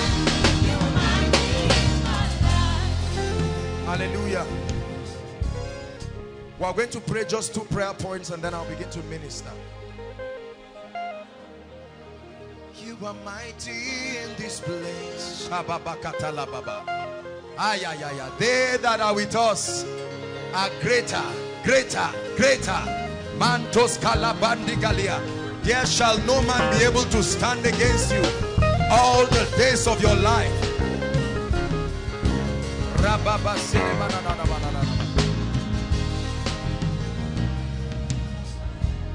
Prayer point number one. Oh God, by the blood I cry for mercy. Where I've allowed the devourer, I have stolen from my tithe your designated portion. I've allowed the devil to deceive me that the tithe is a gimmick by preachers. Now I realize and I ask for your mercy. Lift your voice and pray. Inside and outside. Lift your voice. Your tithe is your spiritual circumcision. Pato potosi pakete kapasoto prekete lekete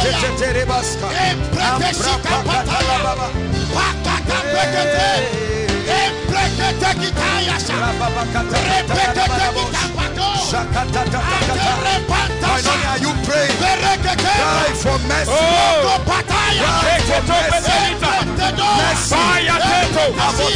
To destroy my life. To eat up my health.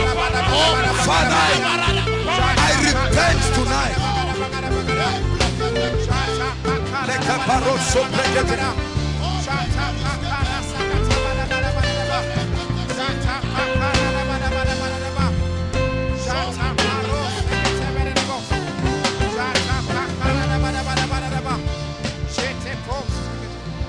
Hallelujah. Hallelujah.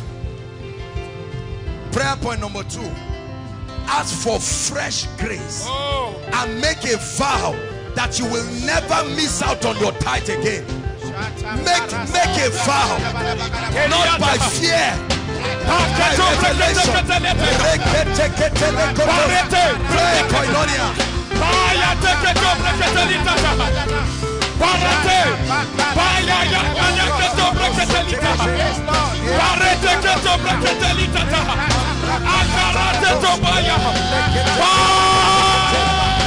God's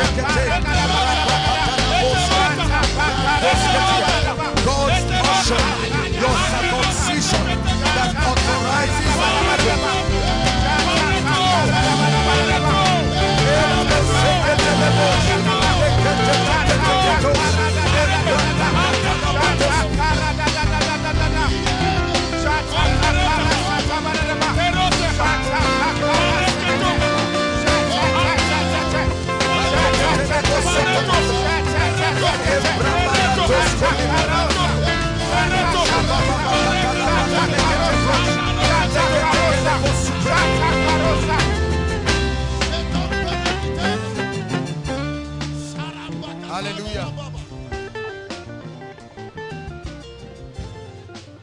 Hallelujah. Listen. I give you an assurance and I pledge the name of the Lord upon this. If you take what I've shared tonight, for many of you, this is your secret, is your password to a mysterious level of lifting. A level of lifting that will surprise you as much as surprise those who are your spectators. God's portion, the his designated portion that makes creation to walk in your favor makes your enemies to walk in your favor. Mysterious but powerful consistent. Hallelujah. Just one more prayer and then we'll trust to see the mighty things that the Lord is going to do. I want you to lift your voice in one minute. We are going to pray in the next five minutes listen. I want you to confront the gates of your destiny. And I want you to pray and say you must open up this night. Lift your voice. Cry it's the seventh month. The gates of my destiny must open up by the power of the Holy Ghost. By the power of the Holy Ghost by the power of the Holy Ghost. By the power of the Holy Ghost. It must open up. Some trust in chariots some in horses but we trust in the God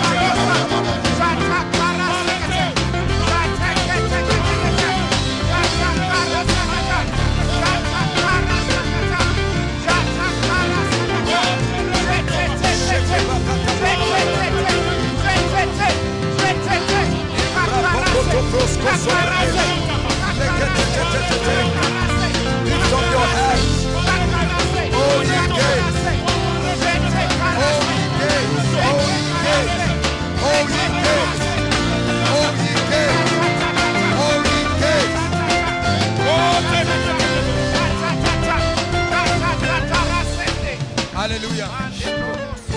Hallelujah. Hallelujah. Let me just add one more prayer. Because I see the angels of the Lord already moving. Let me just add one more prayer. Listen.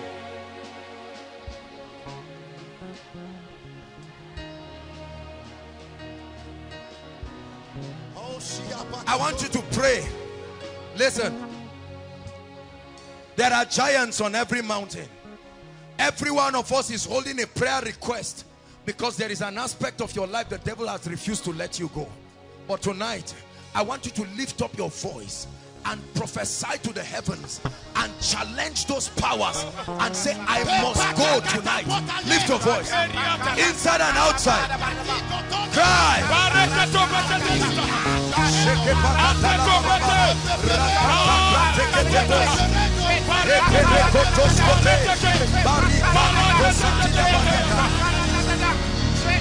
Must walk away.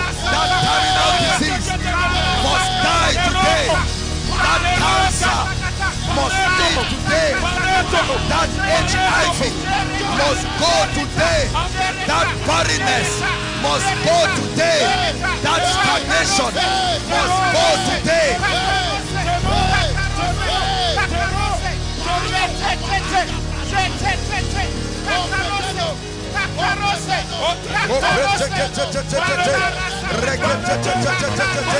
Koinonia, pray. Something is happening in the realm of the spirit. Pray. Something is happening in the realm of the spirit. Pray. Something is happening in the realm of the spirit.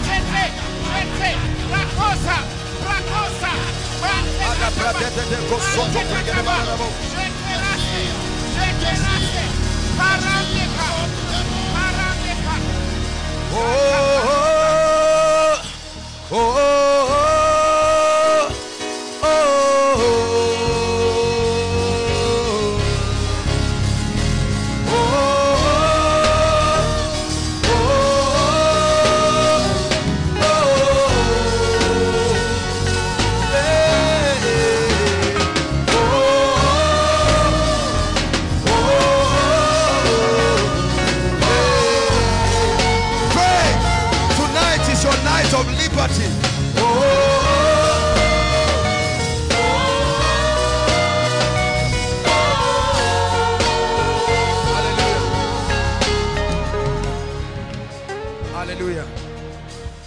Hallelujah. Now, before I begin ministering, please can I have that family if they are here? The family that came with the poison person. Are they here? Please, let's save time. If they are here, just signify by wave of hand and then run out here quickly. There's a lot to do tonight. Hallelujah. Praise the Lord. While that is happening, I want everybody to follow up on your prayer request. If you are yet to write, please one minute so that when we begin to flow, we just move and we don't stop. So you have one minute while you are praying in tongues. Just write your prayer requests very quickly so that when it's time to pass it, you just pass it very fast.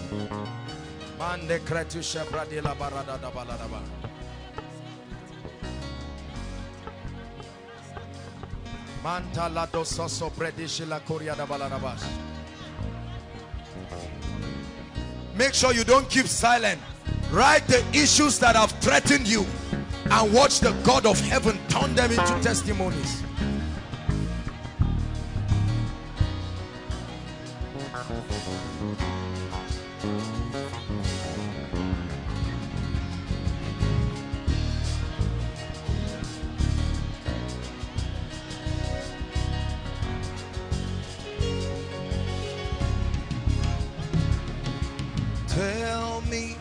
What can I do? I can live without. I can live without. So tell me what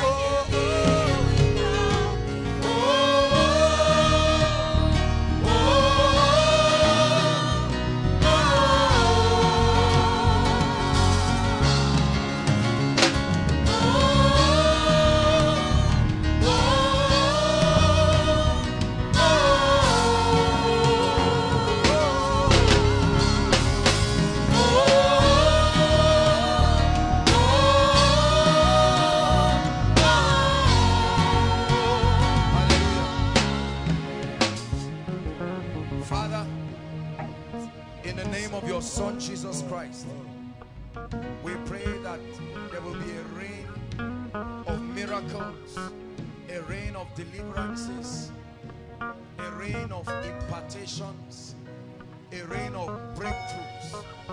We forcefully advance tonight. We compel gates to be open. We compel doors to be open. We compel every handwriting of darkness to give way in this place tonight.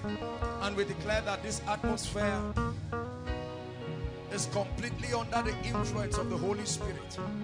And that everybody here within this vicinity comes under the influence of the Spirit. Lord, that no one will walk out of this place without a touch of God. Hallelujah. Hallelujah. Now I'm going to begin to minister to us. And while I prayed for this in the course of the week, again and again, I kept seeing. Please pay attention. Can I have strings, strings, strings, strings? Hallelujah. I kept seeing again and again spirits. Watch this. Spirits leeching onto people. This is what I kept seeing. Like a man sitting on a man's shoulder. I saw this over many people. And I said, Lord, what is the meaning of this? And the Lord began to, re to reveal to me that these are the spirits that cause setbacks upon the lives of men and upon the lives of families. And the Lord said, when I come up, he said, the first thing I should do is dislodge those powers. Dislodge those powers. I saw them like a man, like a child will sit down on the shoulder of another, bringing a resistance to your destiny. And I'm about to pray for you right now. There are so many people under the sound of my voice. So many people under the sound of my voice.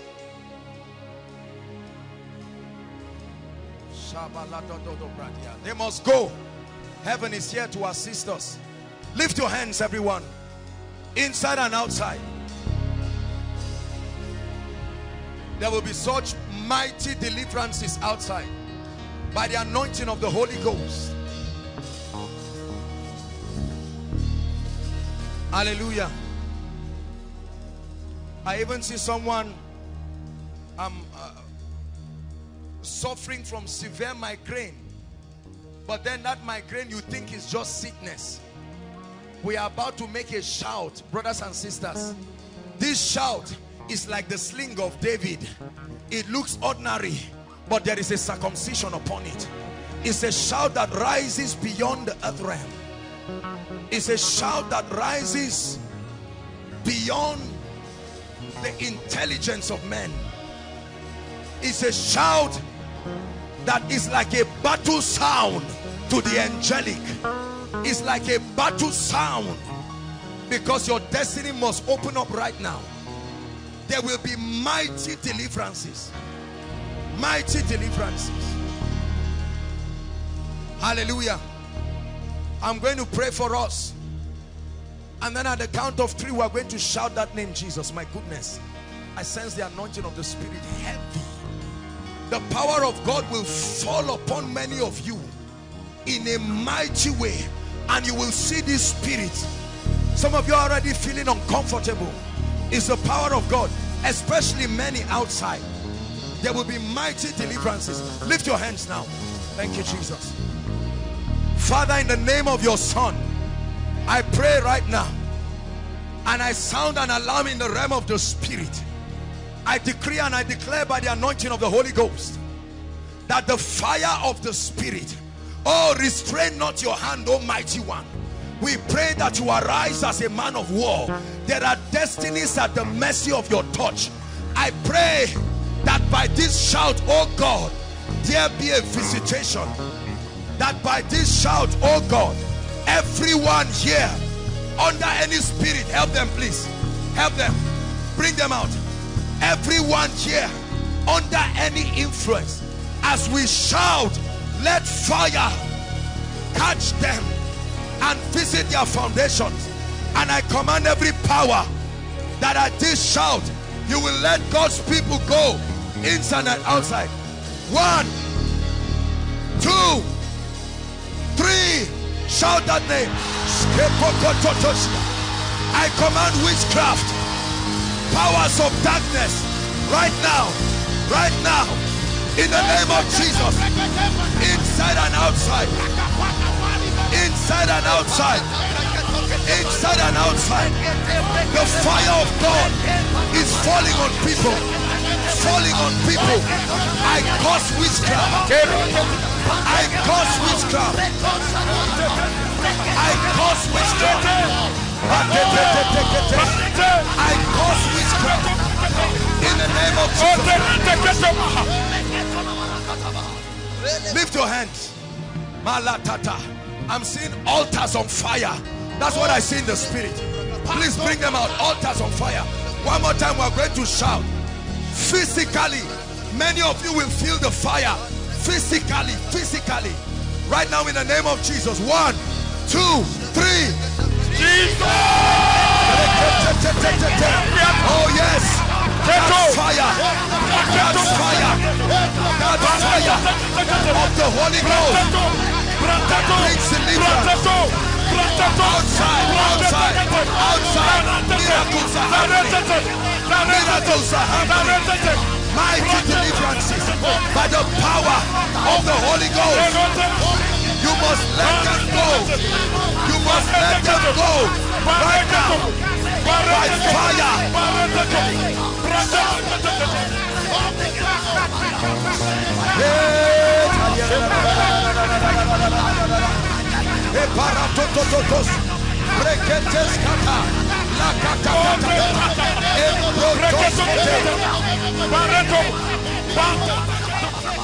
Hallelujah.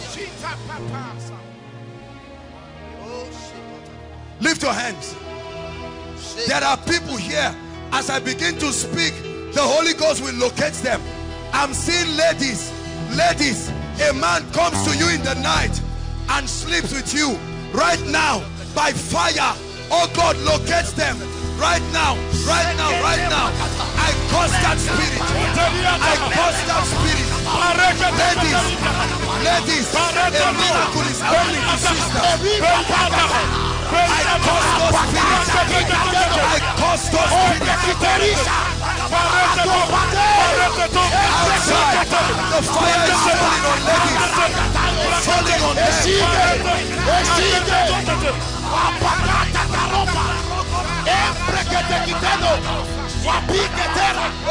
Seriaga bagara. Pakoto piketeno. Embreketekita. Sharaba baba. Embreketekito. Seruabe.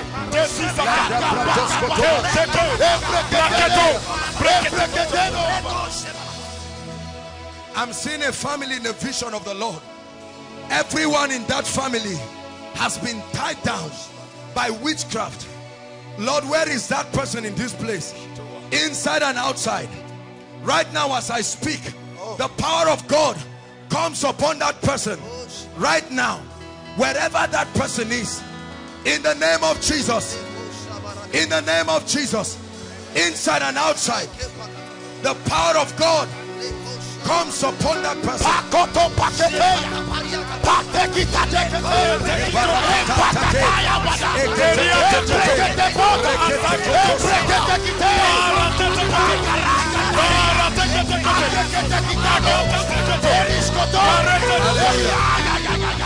Hallelujah.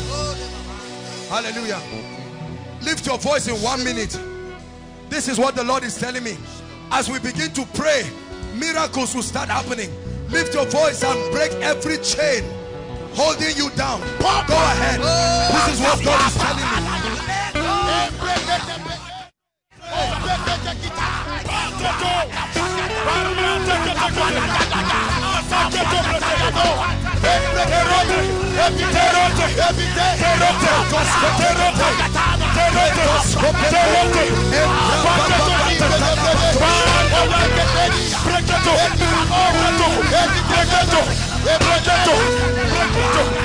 Chain must be broken. Must be broken.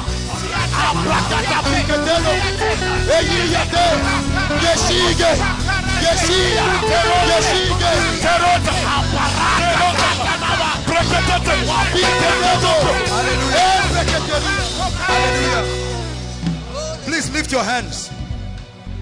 Lift your hands. I hear my spirit families. Families. God is stepping into families. There are altars. There are altars over families that are about to be broken. As you are standing right now, God is going to be visiting your family. At that shout again, inside and outside, make sure you are participating.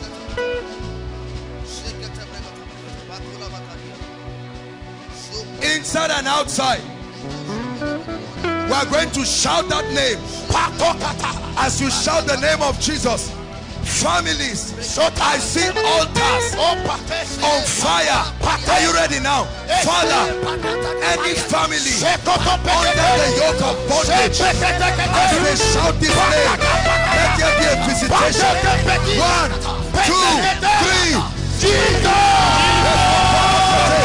Families, be free now. Be free now.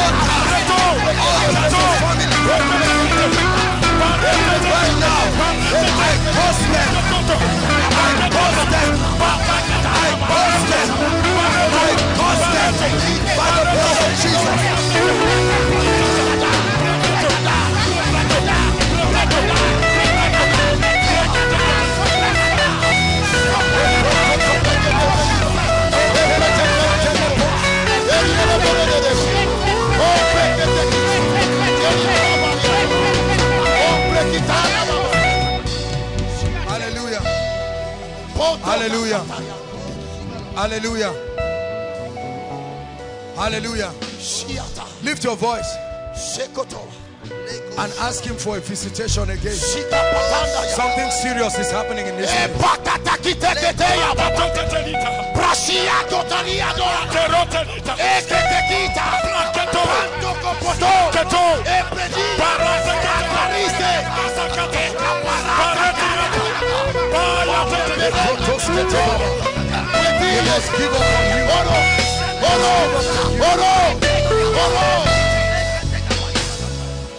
Hallelujah. Hallelujah. Lift your hands. I'm hearing marital spells. Marital spells. Please lift your hands. Listen. Hear me. Something mighty is about to happen here. The Lord is ministering to me that there are people who there are spells tying down their marriages, whether single or married. Right now, lift your hands. As I begin to speak, the wind, I see like a wind, a whirlwind moving across this auditorium. Oh. It will catch up with some people right now. Where are they, oh God? Visit them right now. In the name of Jesus. One more time, we will shout that name. Wherever they are. One, two, three. Jesus. Spells, spells, be broken, be broken, be broken, be broken, be broken.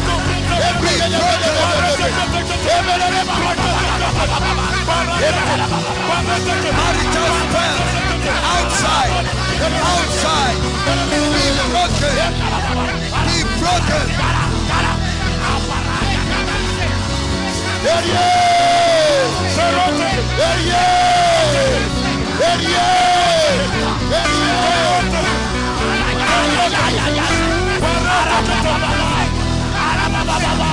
ofrendelo, ofrendelo, ofrendelo, ofrendelo, ofrendelo.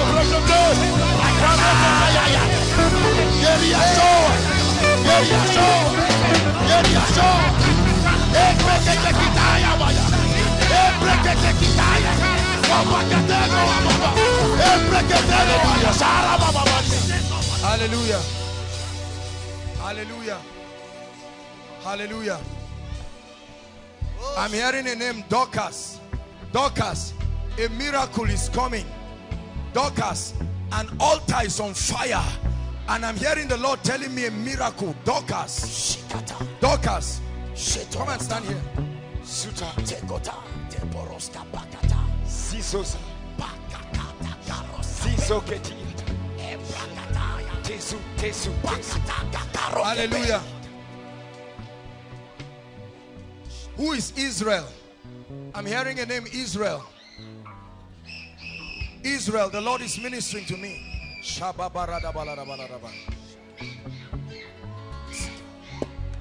Tonight, He must let you go. Let you go. Hallelujah. Now, the Lord is showing me a woman. You are here. You had a miscarriage. There is a woman here who had a miscarriage. It's like you had a child and you lost the baby. And the Lord is telling me, please help them, those under the anointing, so that we don't, this place is not rowdy.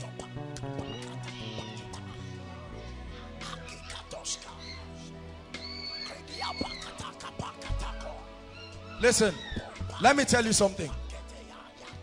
The anointing of the Spirit does not make the difference. The anointing is the difference. The anointing does not make the difference. Without the anointing, we are just making noise here. But by the anointing, and I'm telling you this, no matter where you are, whether you are inside here or outside or right at the back, I want you to connect because God is visiting you. And every one of you must have a touch. Dorcas.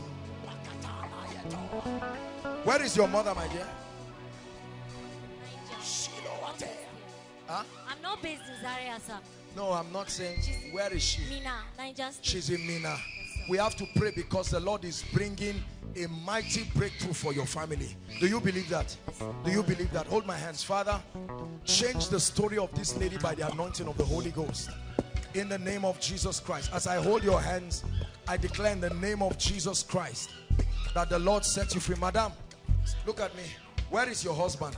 At home. Huh? He's at home. Why didn't he come with you? I don't know. because there is a breakthrough that is a portion for him in this meeting. Amen. but i'm going to pray for you. You believe that? Yes, sir. you believe that? Yes, sir. because this is delay. Yes. i'm seeing delay in your Yes, family. Sir. serious delay. It's even becoming an issue of argument between you and your husband. Yes, sir. i'm seeing two of you arguing. Yes, but the lord is saying he is bringing rest to your Yes, family sir. this night. Amen, in the name of jesus Amen. christ. Father let there be rest. Rest for her. In the name of jesus christ. You are Dorcas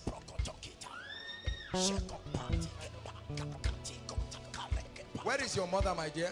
You. She stays in Kaduna. Why the same way you are crying is how I'm seeing your mother crying in the realm of the spirit. And the Lord is ministering to me.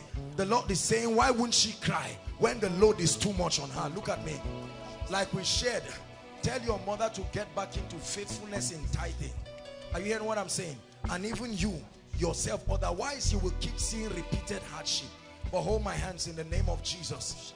Lord, bring rest to this lady. Bring rest to her in the name of Jesus Christ. Where is the woman that had a miscarriage? There is a woman that had a miscarriage. And the Lord is asking me to minister to her. We may not be able to minister to everybody, but there is there is someone. Please make sure you don't sit back. The Lord is ministering to me about that person. So that we'll just we'll just pray for her. Dogara. Dogara. I'm hearing a name Dogara. Dogara. Who is Dogara? You? Your name is Dogara. Yes, sir.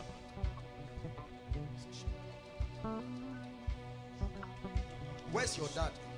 He's at home in He's, Kaduna. he's at home. In Kaduna. We have to pray for him. What I'm seeing will never. If they are vomiting anything, please and please maybe carry them out of. We're, we're about to pray, please. Don't worry. In the name of Jesus, I lay my hands right now over and I cause that spirit that wants to bring accident. In the name of Jesus, it will not come to pass. We cancel it right now by the blood of Jesus Christ. Amen. Madam, I want to pray for you. The way I'm holding your hands, that's the way the Lord is saying I should tell you He's going to begin to hold your hands and that He will cause you to move forward in your life. The Lord is saying I should tell you He's bringing restoration to your life and He's bringing joy to you in the name of the Lord Jesus Christ. Let it be. You are the one with miscarriage. Why did you sit back now? Come. There's nothing embarrassing about it, madam. This is a family. Because I'm seeing another one happening and we must pray for you. Yes, sir. It's happening again. We have to cancel it.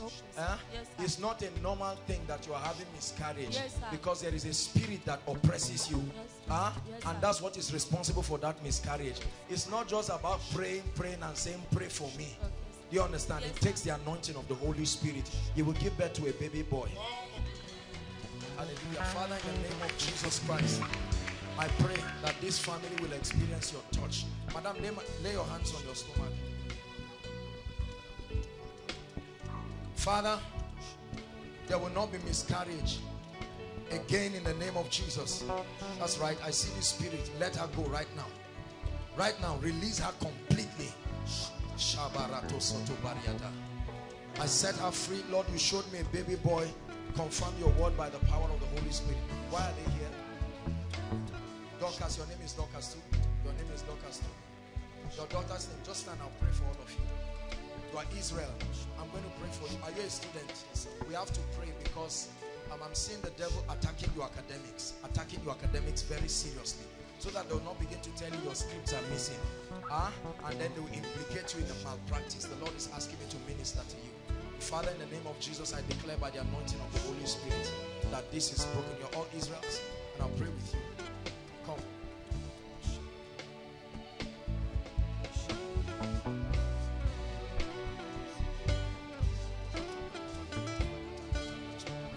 Let her go right now.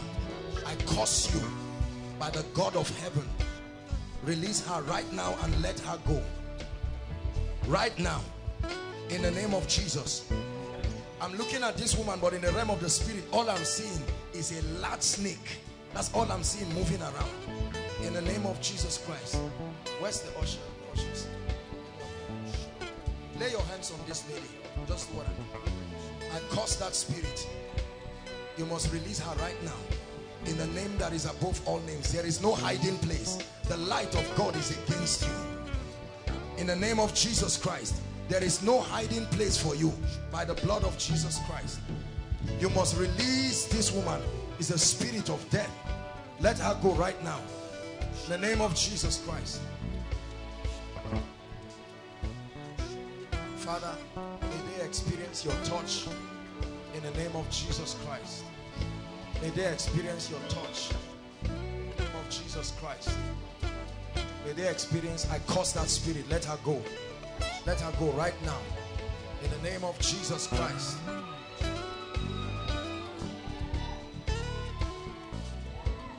Your baby's name.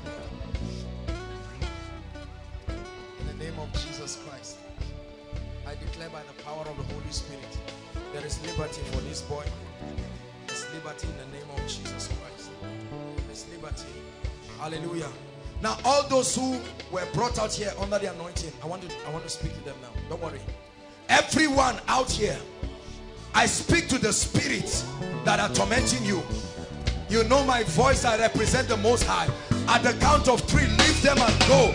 Right now, one, two, go, go, go. Out of them. Out. Out of their life. Out now. Never to return.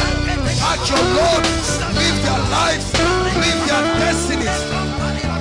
Restoration of virtue, of grace. I curse that spirit from its foundation.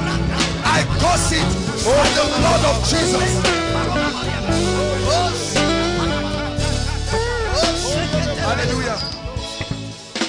All those who are trusting God for jobs, lift your hands. I see a strange anointing in this place. Please, don't withhold your hand. Don't withhold your hand. There is an anointing. There is an anointing. Sister, you looking at me, rejoice. I see an appointment letter given to you. You, this lady looking at me. Talking to her. You are turning back. You, come, come, come, come, come.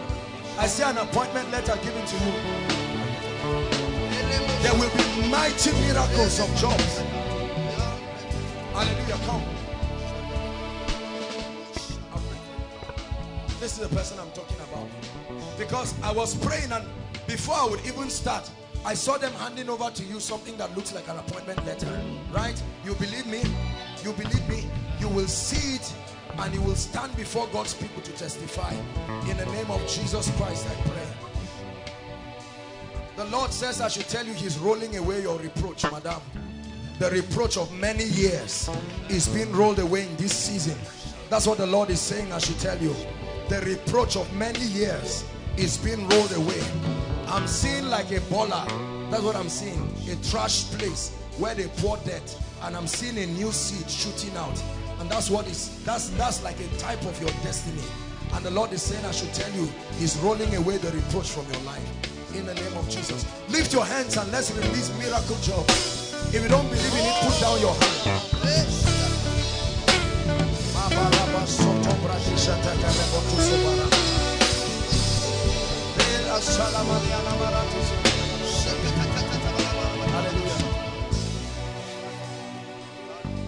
Command you by the blood of Jesus, you foul spirit, you have oppressed this body. In the name of Jesus, I break your covenant. I break your ordinance. There is a strong spirit that has been oppressing this lady. It's not just her. Can you look at how many people holding one tiny lady? I curse you. Now, I curse you. I curse you by the God of heaven and I curse you by my office in the name of the Lord Jesus Christ. I curse that power.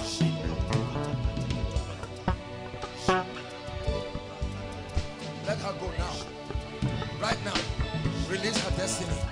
Release her family now. By the blood of the eternal covenant. She's free. Go. Release her now. In the name of Jesus Christ. Let me tell you something. Listen, listen.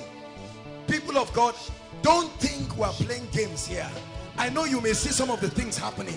These are the powers that have tied down men's life. It's not solved by counseling. You are just moving in the physical, yet in the realm of the spirit you are bound. We are not embarrassed. We are never embarrassed to set people free because that's what Jesus said. There's got to be a way of setting people free. Hallelujah.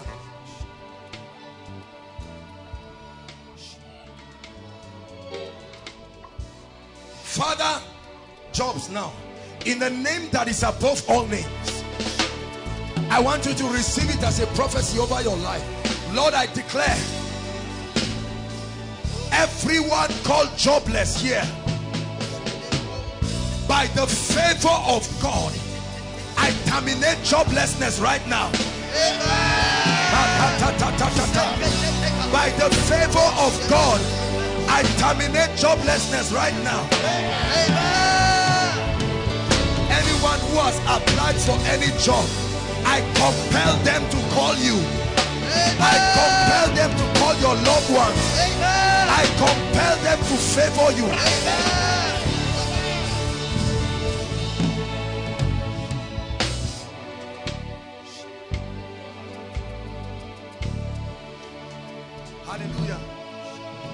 We have anyone here called Agnes? Agnes.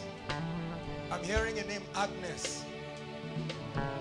The Lord is ministering to me about one Agnes. We'll begin to pray for the sick shortly. Agnes. I'm hearing the name Agnes. God is ministering to me. He wants to bring deliverance to the family of Agnes. Do we have anyone there? Agnes.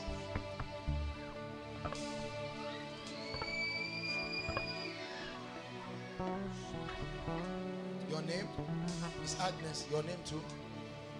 Your family member? Okay, I'm going to pray for you.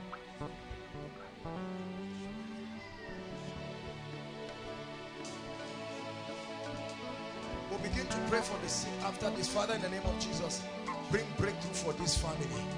You showed me that you're visiting this family. Go ahead and confirm your word with signs following. In the name of Jesus Christ, I pray for you. Whoever is Agnes in your family, let there be a miracle. In the name of Jesus. I want to begin to pray for the sick, but I'm seeing a very serious situation here. There's someone here with a swollen leg. I don't know who that person is. Your leg, mysteriously, paining you, and it looks it's, it's like swollen. This is what I see in the vision that the Lord is showing me. Who is that person? Your leg is swollen.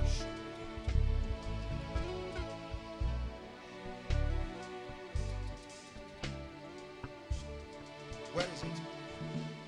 Which of the legs?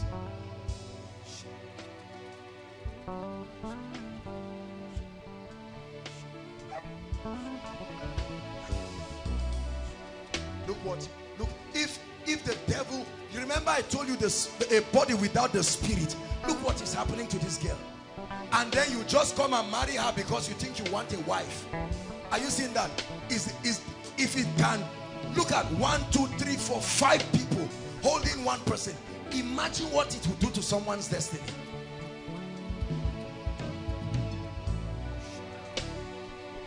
I say this without a sense of cynicism. Many of the people that God is setting free attend churches every week. Look we need to restore the power of God in our churches and stop playing games with God. Because God's idea is not just for one platform. Hallelujah. Swollen legs. No no no don't you don't you don't have to madam. I see you too. Your legs. For how long? What's the situation with her? Is her leg swollen? Okay hold on. She can't walk baby how are you hallelujah please help us with the mic who brought her okay no it's okay it's okay, what's your name Annie your name is Anne. Agnes. Alice. Your name is Alice. You can't walk. You can walk, but your leg is bent. Oh my goodness, look at such an innocent lady. Lord, have mercy on this lady. In the name of Jesus Christ. I pray that the Lord will visit you in the name of Jesus Christ. Let her go back when I begin to pray for the sick, then you let them come out. I'm just ministering to special cases. Leg, your leg, all of you who had a dream in a dream it's like something was shot it's like i don't know if it was an arrow i'm seeing something that looks like a dream and something was shot on your legs if the person is not i'm seeing someone who had that dream it's like i don't know if it was like a gun or something or an or a, a, a, sharp object i know that it was it's like it was shot to your leg Last night when I was in something beat me when I was sleeping. I just woke up and screamed. So blood was coming out of my I- legs. I'll pray for you, but this one I'm seeing, I just want to flow as the Holy Spirit is directing me. It's like, it, it looks like a gun or something sharp. Huh? I was shot in the realm of the spirit. My dream. You were shot, fired at you. Yes. And what happened to you? I only I prayed when I woke up. You prayed when you woke up. From the dream. The Lord is going to set you free. I know that I've talked to you once, but truly, truly, there is a spirit of delay and stagnation in your life because you love God and God is going to use you in many ways, not just in the area of the anointing, but even in the area of finances. But as it is, there are many things that are not moving in your life. Lift your hands, let me pray for you. Father, in the name of Jesus, the reason why you redeem is so that we will be free. I pray that you set this gentleman free by the anointing of the Holy Spirit. Everything that was fired on your leg in Jesus' name, I curse it. Jesus' name. What's happening to you, madam? My leg is. Your leg. Yes. What happened? It's just paining you or it's swollen. It is paining and it is uh, for me to stand or to walk almost two years is problem for me. Almost two years. Which of the legs? This one. What can't you do? I, I can't stand like this. Some people are standing now. For me to stand still You can't stand straight. It's a problem for me. Yes. Is it that it's shorter than another or what, what's the issue? It's not shorter than. Okay. It's the same. It's You believe- cockroach. As I'm standing it's Huh? Why is she here? She's your daughter. My father was shot in a dream by an arrow. It, according to my dad, it entered his thigh and came And out came through out. the other This is thigh. the person I'm talking about. and it, Huh? it caused a physical wound on his thigh up to present. This guy Where is he? Is he here? He's in Lagos, sir. He's in Lagos. Yes, sir. You believe God will touch him? Yes, sir. When I pray for you, call him and tell him Yes, that sir. he's been prayed for. Yes, Huh? sir. Ah, yes, because sir. this is witchcraft. Where are you from? I'm from Benue State. What's your name? My name is Kate. Kate. Yes, sir. From Benue State. Hold Yes, my sir. hands. Father, visit this family. You have revealed this in the name of Jesus. I curse this witchcraft. Let it leave your father never to return by the anointing of the Holy Spirit. Let it leave your father never to return by the anointing of the Holy Spirit. In the name of Jesus Christ, I pray. Madam, you believe Jesus will heal you? Yes, I do. You believe believe with all your heart? Yes. Madam, what's your situation? Pains. Since. I yes, since I feel sick, they used to swell up. Since so I you- Since I was sick for six months, they used to swell up, but now I can't walk. I can walk and be hearing sharp pain. Where? Where is the sharp pain? Okay, how about you? My leg is swollen for over five years now. Five years. I cannot stand for long. Where is which one is swollen? Oh, I see. You can't stand I can't stand for long. for a long time. Mama, how about you? Two two months. Yes. What's happening? I have arthritis. You have arthritis. Yes. Who else? Who again? Leg problems December. Leg problem. All of you, I'm going to pray for. You too. Your legs swollen. Oh, you are the one who said something beat you. Ah, you are a worker in this place. Let's challenge that devil. She's a worker in this house. There is an immunity. Father, in the name of Jesus, I declare that this will never return to her again. In the name of Jesus Christ. Never return to her by the power of the Holy Spirit. I'm going to pray for you, and I want you to check yourselves after I pray for you. In the name of Jesus. Sister, five years your leg has been swollen. Permanently like that. Have you gone to the hospital? What did they tell you? Nothing was found. Eh? Nothing was found. Nothing is wrong. Because when a thing is spiritual, no matter what happens in the physical, you may not be able to get an equivalent, um, uh, uh, something to be able to treat. But Father, in the name of Jesus, we cause witchcraft. This is leg, right? In the name of Jesus Christ, I command freedom, freedom for your legs. In the name of Jesus, I break the power of witchcraft. Mama, I pray for you right now in the name of Jesus and by the power of the Holy Spirit. I pray for you right now. Every wicked spirit leaves you right now. In the name of Jesus Christ. Lay your hands on your chest. The Lord is bringing you deliverance right now. In the name of Jesus. This is witchcraft. For five years, I'm seeing a spirit. Go! Go! In the name of Jesus. You can't remain in her. The swollen legs, I command the swelling to go down. In the name of Jesus Christ. In the name of Jesus, Mama, I pray for your leg. In Jesus' name. I pray for your leg. That's where the pain is. Just lay your hands there. In the name of Jesus Christ, I cause the pain by the power of the Holy Ghost. In the name of Jesus Christ. Please check yourselves. Check yourselves. Check yourselves. Do what you couldn't do. Do what you. And tell me if there's any improvement. How many of us came here either for ourselves or for our loved ones to be healed? Specifically in the area of healing. Let me just see your hands. Inside and outside, can you just wave it to the Lord? How many of you came here to be healed? Okay, very quickly, while the worship team leads us in a powerful worship session, want all the sick people to make their way right now. Just, just guide all the people that are under the anointing. Just shift them. Don't drag them around. Please. Let's do that very quickly. Make your way out and just stand in a straight line and trust God for a miracle.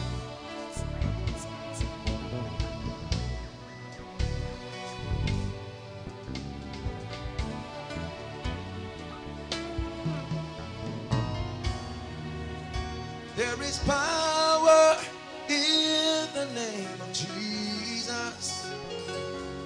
There is power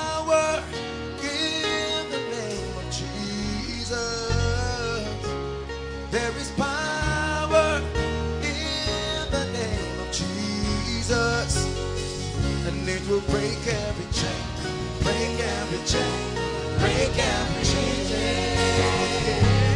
Break every chain, break every chain, break every chain. There is power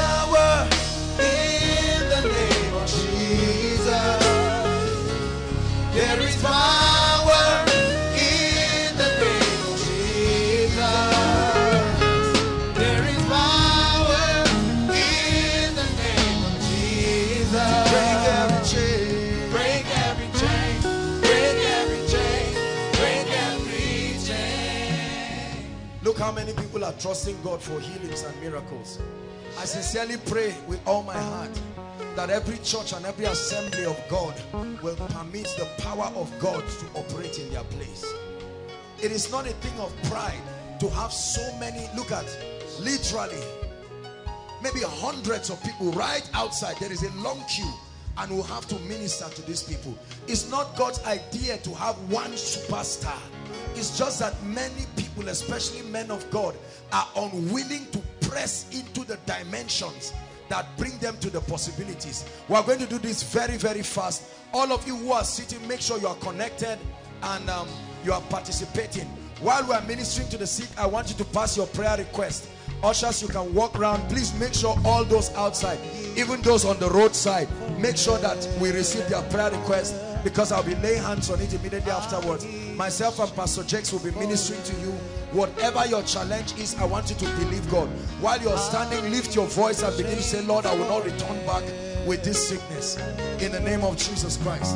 Thank you, Jesus. Thank you, Jesus. Father, I stretch my hands over your people.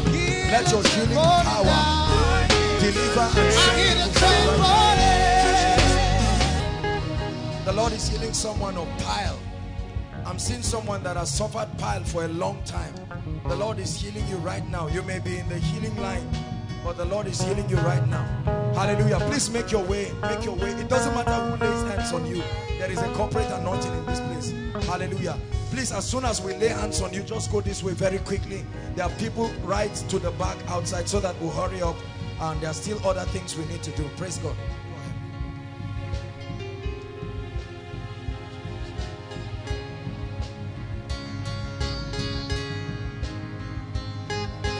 Matter what is wrong with you.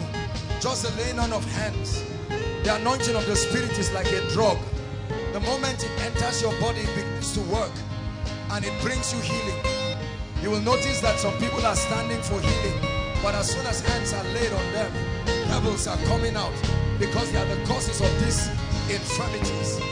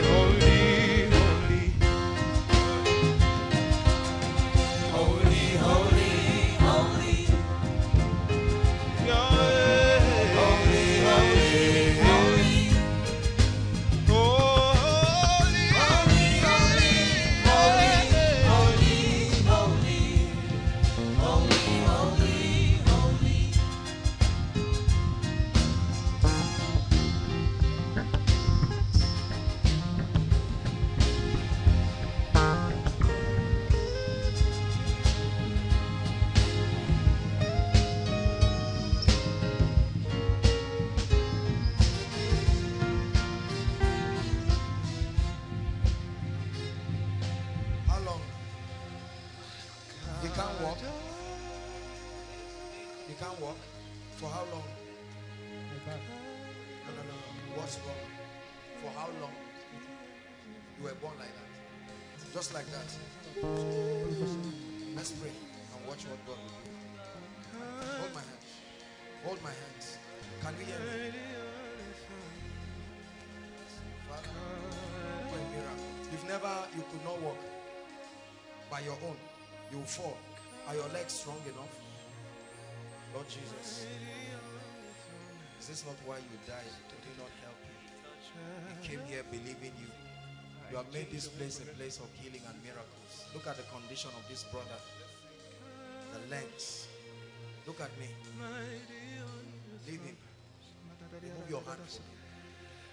Look at me. Have you tried walking before? Huh? Lift your leg. Try lifting. Lift it. Lift the other one. Lift it. Lift it.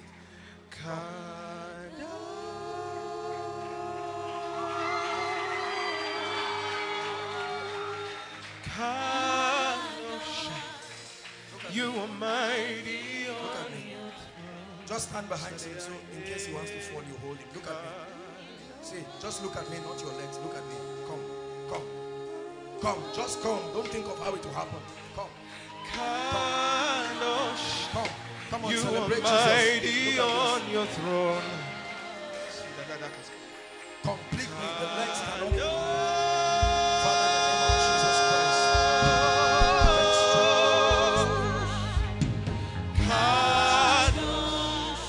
You are mighty on Guide him. Let him try walking.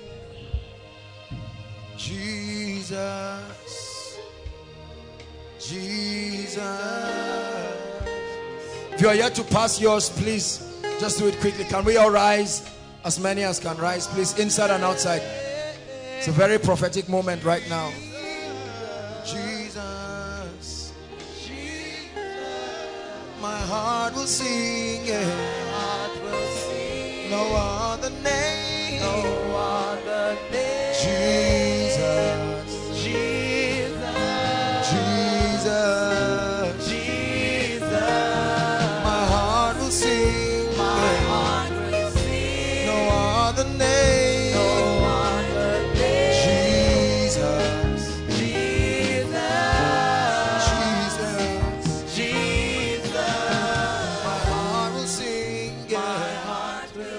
Those outside, can we have it quickly?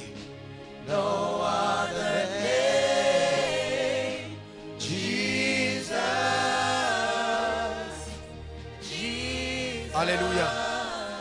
We just have five minutes to do this. Listen, I assure you, this is the place where God answers prayers. Hallelujah. I may not be able to minister to everyone individually, but I want you to know that this is a representation of your heart's desire. This is a representation of why you are here. And I'm going to lay my hands as, on as much as possible as a point of contact.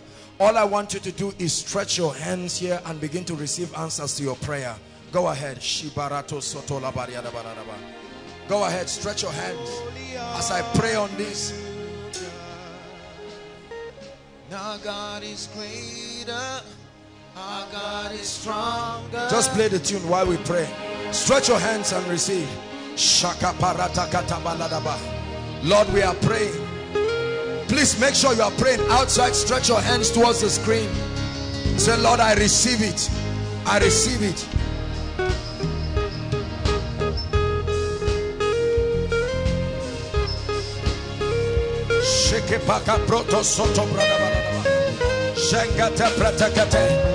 Lift your hands and stretch your hands here and pray. Pray from the depth of your heart.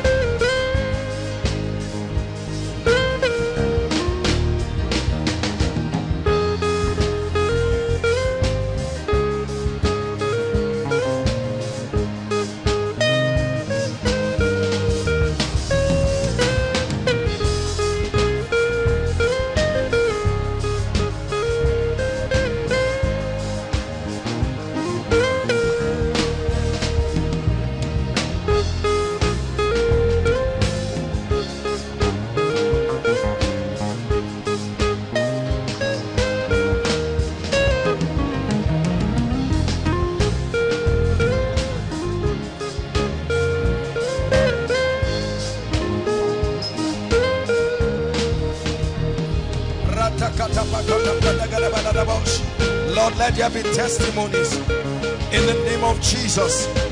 Turn impossible situations into testimonies. Lord, we agree, we agree, we agree in the name of Jesus. Turn impossible situations to testimonies. Stretch your hands and keep receiving. I receive by faith. Come on, pray. All kinds of miracles by the anointing of the Holy Ghost. All kinds of miracles.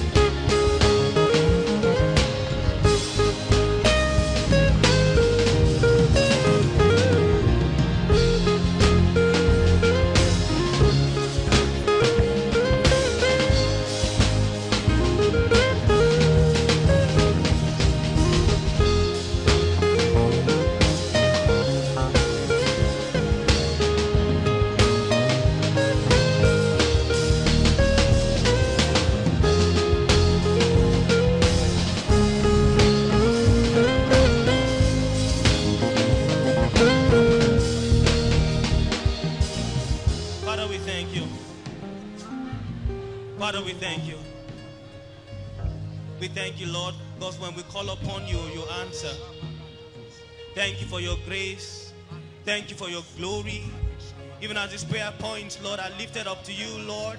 As your people look up to you, Lord.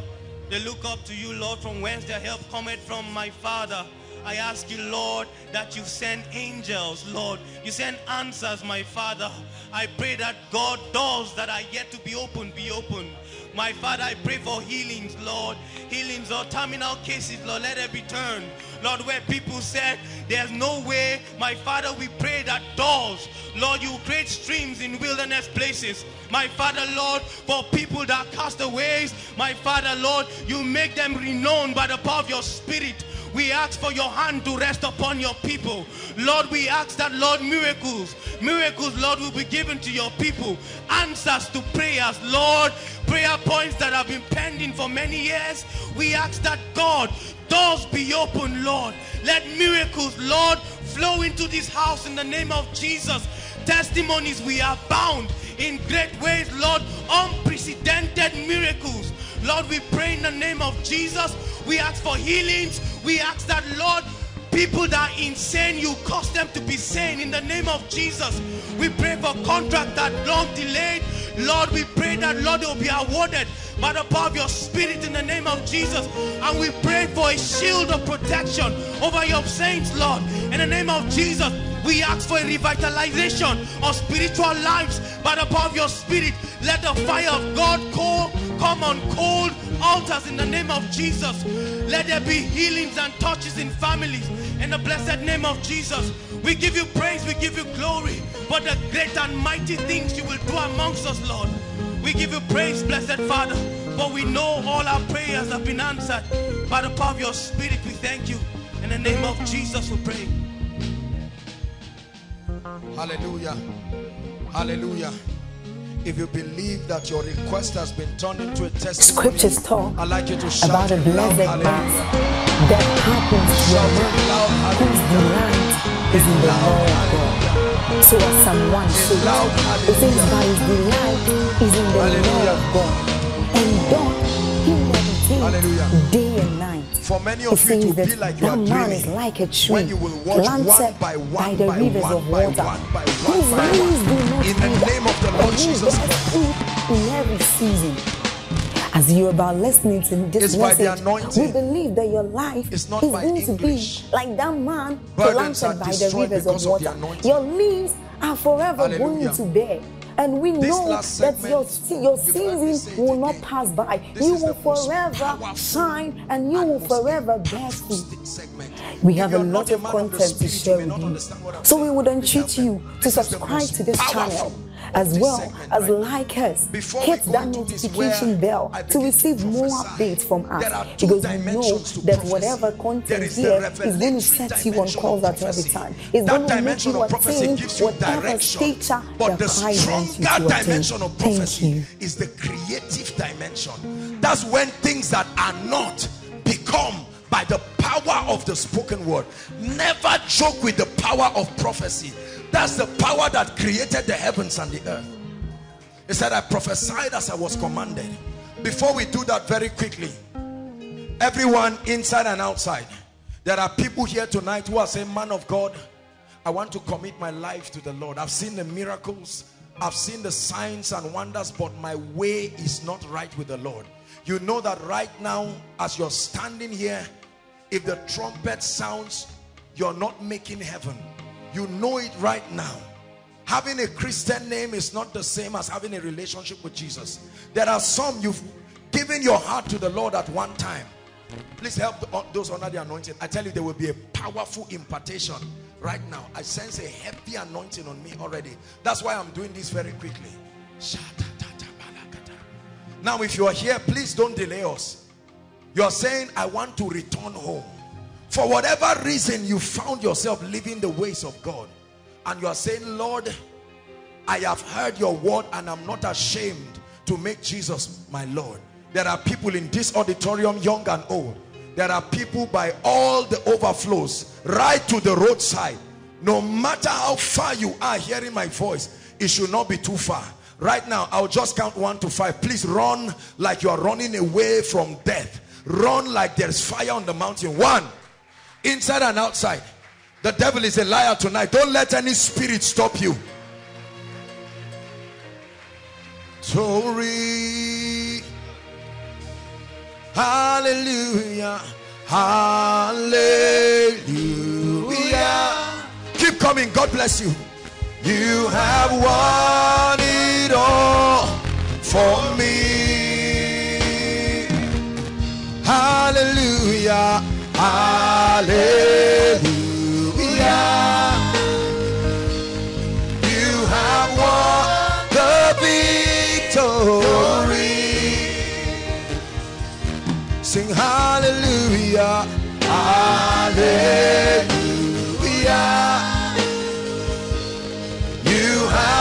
Keep coming, keep coming. Please hurry up and catch up with us. Saraswati Buchi. Hey, Saraswati Buchi.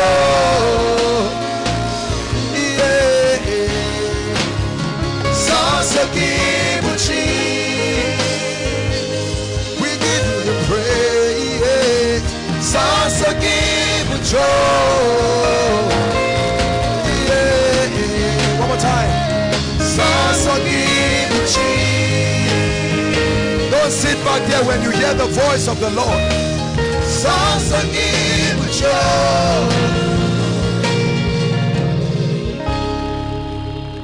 I appreciate every one of you for coming out. This is the way to the cross. Listen, no matter what you achieve in life, if your eternal destiny is not secured, it says, this is the testimony that God has given us eternal life. But he said this life is in his son. Until you have the son, you do not have that life. Lift your right hand. Forget about who is looking at you. And in the name of Jesus, I want you to pray this prayer from the depth of your heart.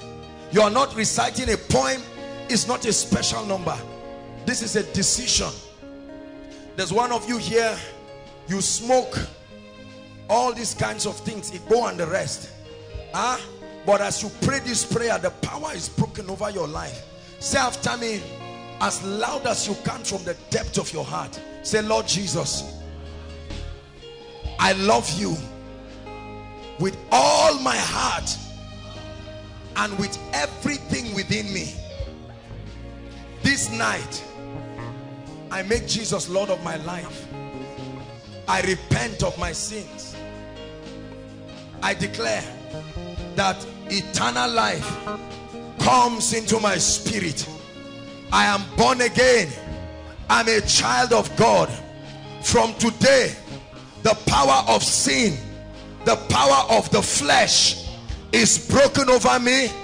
My past is gone and it's over forever. I am a new creation in Christ. In the name of Jesus, the power of sin is broken over my life. In the name of Jesus, I receive of your life. In Jesus' name I pray. Now I stretch my hands over you and I declare the power of sin is broken over your life. In the name of Jesus, every yoke that has tied you down let you go forever in the name of Jesus.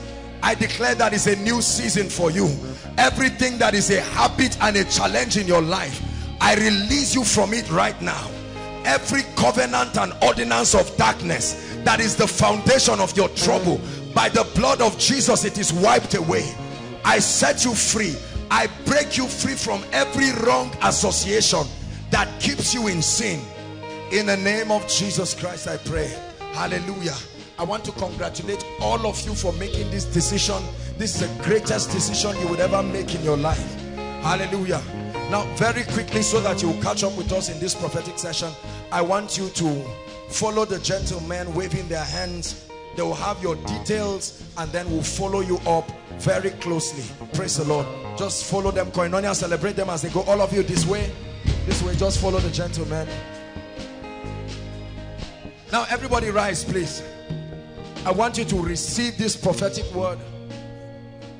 This is the seventh month and the Bible says, revive thy walk in the midst of the years. Hallelujah. There is a mystery with the seventh month. Is the time where God perfects all things. As I prophesy to you, please I want you to know that there is an anointing that makes it happen. Hallelujah. Listen, listen. Don't, mind all that nonsense. One way to conquer Satan is to ignore him. All of that rubbish uh, is, is the devil works in the realm of the senses. By the time you focus all your attention on this drama and these things, you will waste your time. I know you are trying as ushers, just stand around. Satan does not have authority. I want you to know that there is an anointing. Manifestations are already signs that his power is broken. But Satan knows that we walk in the realm of the flesh. So he begins to act around your mind to distract you. When you ignore Satan, is one way of conquering him. It does not have the capacity to continue all of this nonsense. Are you getting my point? So this is teaching you so that tomorrow you don't end up wasting your time with all this rubbish and all this drama. Praise the Lord. Lift your hands. I prophesied as I was commanded. You are Yahweh. You are seated on the throne. You are Yahweh. Seated on the throne. You are Yahweh. You are seated on the throne. Father, in the name of Jesus, I'm praying right now. By the ministry of angels. Are they not ministering spirits? Send to minister today that be the heirs of salvation.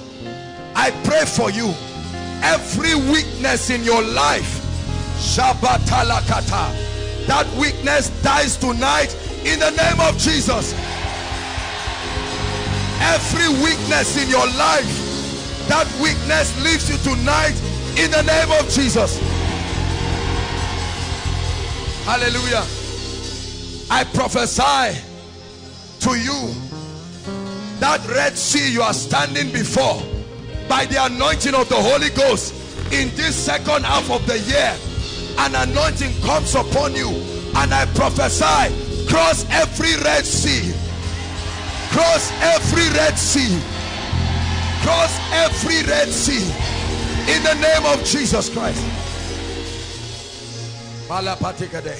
I pray for every student here. Oh for there is a spirit in man. And the inspiration make maketh men of understanding. I'm praying for you. Some of you listen. As I pray now some of you will literally feel like oil being poured upon your head. It's an impartation of knowledge. Right now oh God I release an anointing to change the story of students. At the count of three let it fall right now. One two three take it take it take it take it now take it now. That anointing receive it for exploits shakatatata inside and outside. Take it. For exploits. Exploits. Exploits.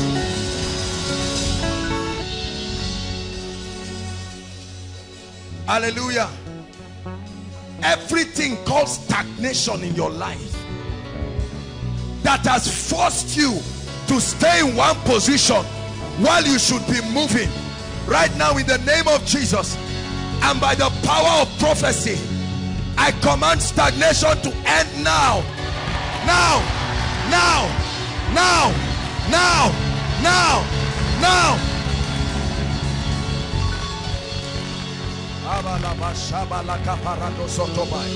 My goodness something is happening to your destiny.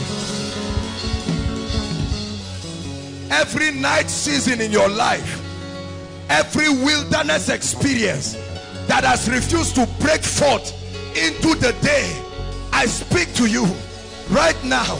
Your morning arise finally. Your morning arise finally. Your morning arise finally. Hallelujah. There is something called favor. I don't know if you know it but there is something called favor. When the favor of God is upon a man your looks your background your qualifications no longer matter. Let an anointing of favor right now I see at least 100 people 100 people like fire 100 people right now receive it receive it favor.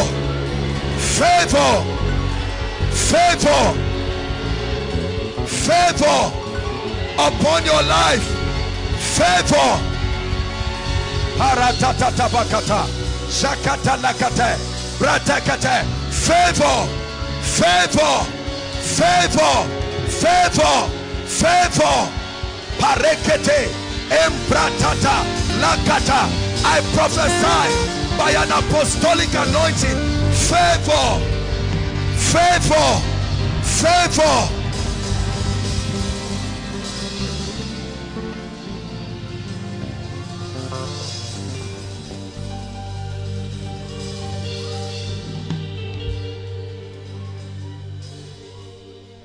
Everyone holding anything that should be given to you for the next level.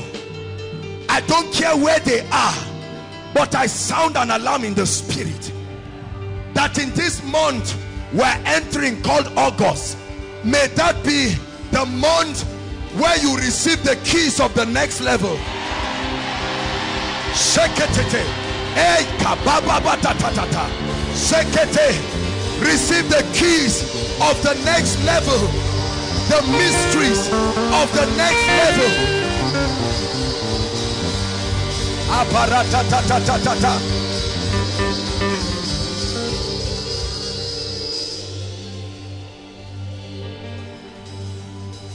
Every spiritual blindness. Shababa. Things happen around you you cannot see. Blood of spiritual vision. I pray right now. Many of you will see like flashes of light. As I'm praying right now, you will see literally like flashes of light. Your eyes are opening right now, right now, right now, right now, right now, by the power of the Holy Ghost. Blindness, spiritual blindness, spiritual blindness. Be free from it right now. Be free from it right now. Be free from it right now. Hallelujah. There are many of us here. Dreams and visions are prophetic channels where we get insight and direction. But for many of us, our dreams and visions have either been corrupted or it's no longer there. The Bible says they will dream dreams. It says they will see visions. Shakataba. Lift your hands. There will be an, a restoration anointing right now. I just want you to shout, I receive. Listen, many things will happen to you. Many of you is an activation of the realm of dreams and visions where God will start showing you the blueprint for the next level. Right now in the name of Jesus, at the count of three as you shout, I receive. Let there be an impartation upon your dream life, upon spiritual visions. One, two, three. Now you receive it. Receive it. Restoration of fire. Fire. Dream dreams. See visions. Dream dreams. See visions. Dream dreams. See visions. Dream dreams.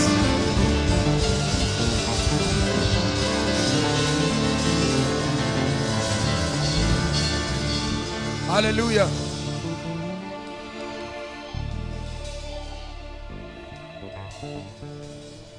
It says, What do you have in your house? And she said, Nothing except a jar of oil. I want to prophesy upon your gift. It's one thing to be gifted, but it's another thing for your gift to be anointed. There are many of you, the gift you have can bring bread to your table, but nobody is seeing it. It's one thing to be gifted, it's one thing to be skilled, but it's another thing for your gift to be anointed. Thou anointed my head with oil, and it makes my cup to overflow.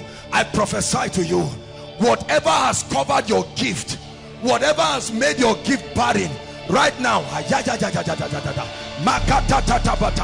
in the name of Jesus, I anoint your gift now. I anoint your skill now. I anoint your gift now. Ah, Bekoto sekete. Eriakata. Creativity. Creativity. I release it. I release that anointing. Creativity. Skill. Expertise. Competence. Proficiency. In the name of Jesus Christ.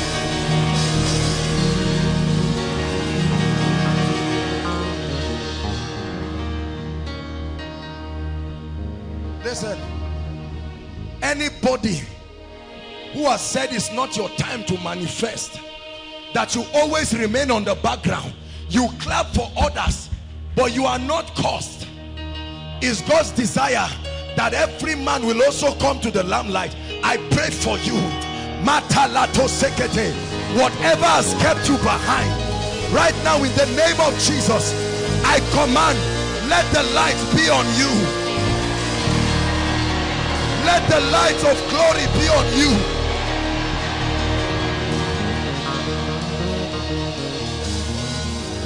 Hallelujah. Everything you have tried by your strength to do and you have been unable to do throughout half of this year you have tried by your strength. I'm releasing grace upon your life right now. Go back to that same thing and watch how god will bless you through it i pray for every ministry here from glory to glory. Every church represented from honor to honor. New dimensions of the anointing. In the name of Jesus Christ. Every business here it's time to shine. Come on.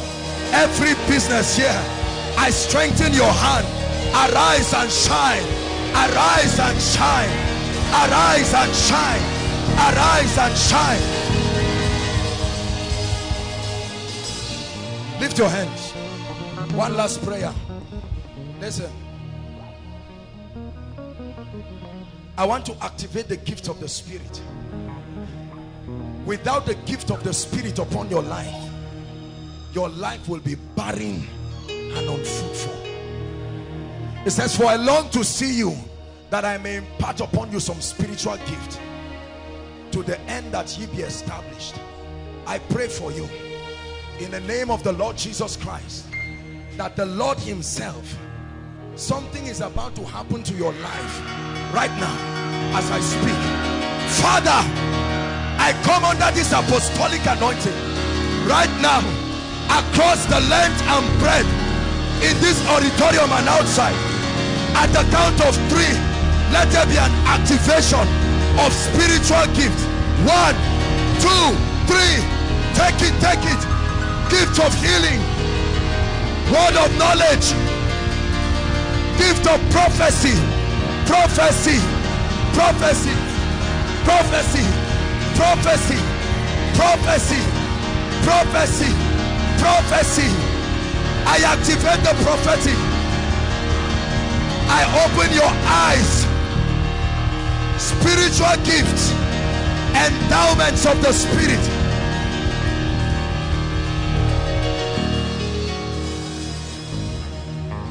I declare that you are supernatural beginning from tonight. In the name of Jesus everywhere you go you are supernatural. Let the anointing upon this house follow you like a shadow. I prophesy to you every anointing that is upon this house from today let it follow you like a shadow whatever the anointing has brought to this house let it bring into your life.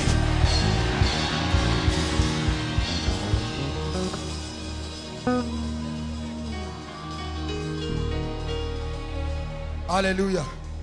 Lift your hands and give him praise.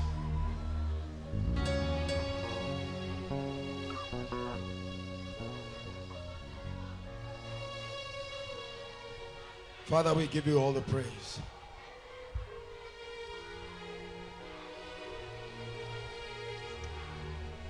I assure you, you will know that this miracle service was unusual. You will know. Many of you right from this night, tomorrow will not reach, you start having your testimonies. Right from this night. Right from this night. Favor, alerts, calls, I mean connections, mysterious happenings. I speak to the spiritual borders of your destiny. And in the name of Jesus, I command that every gate that has been closed, the Bible says your gate shall be continually open. So you have a gate. Your gate shall be continually open to receive the forces of the Gentiles. I pray for you in the name that is above all names. Let everything in your life start working for you. I command the earth to work for you. I command the wind to work for you. I command the stars to work for you. Everything that is a disappointment in your life, I change it tonight to a testimony. Hallelujah. If you're worshiping with us for the first time, keep standing, everybody. There are many people outside. Let me speak upon your life personally. Wherever you are, please make your way to the front quickly. We have one minute to do this. God bless you. This is your first time. You are most welcome. There is a prophecy for you. You must carry a signature. No, stand up. Keep standing. Everybody must know you came for koinonia.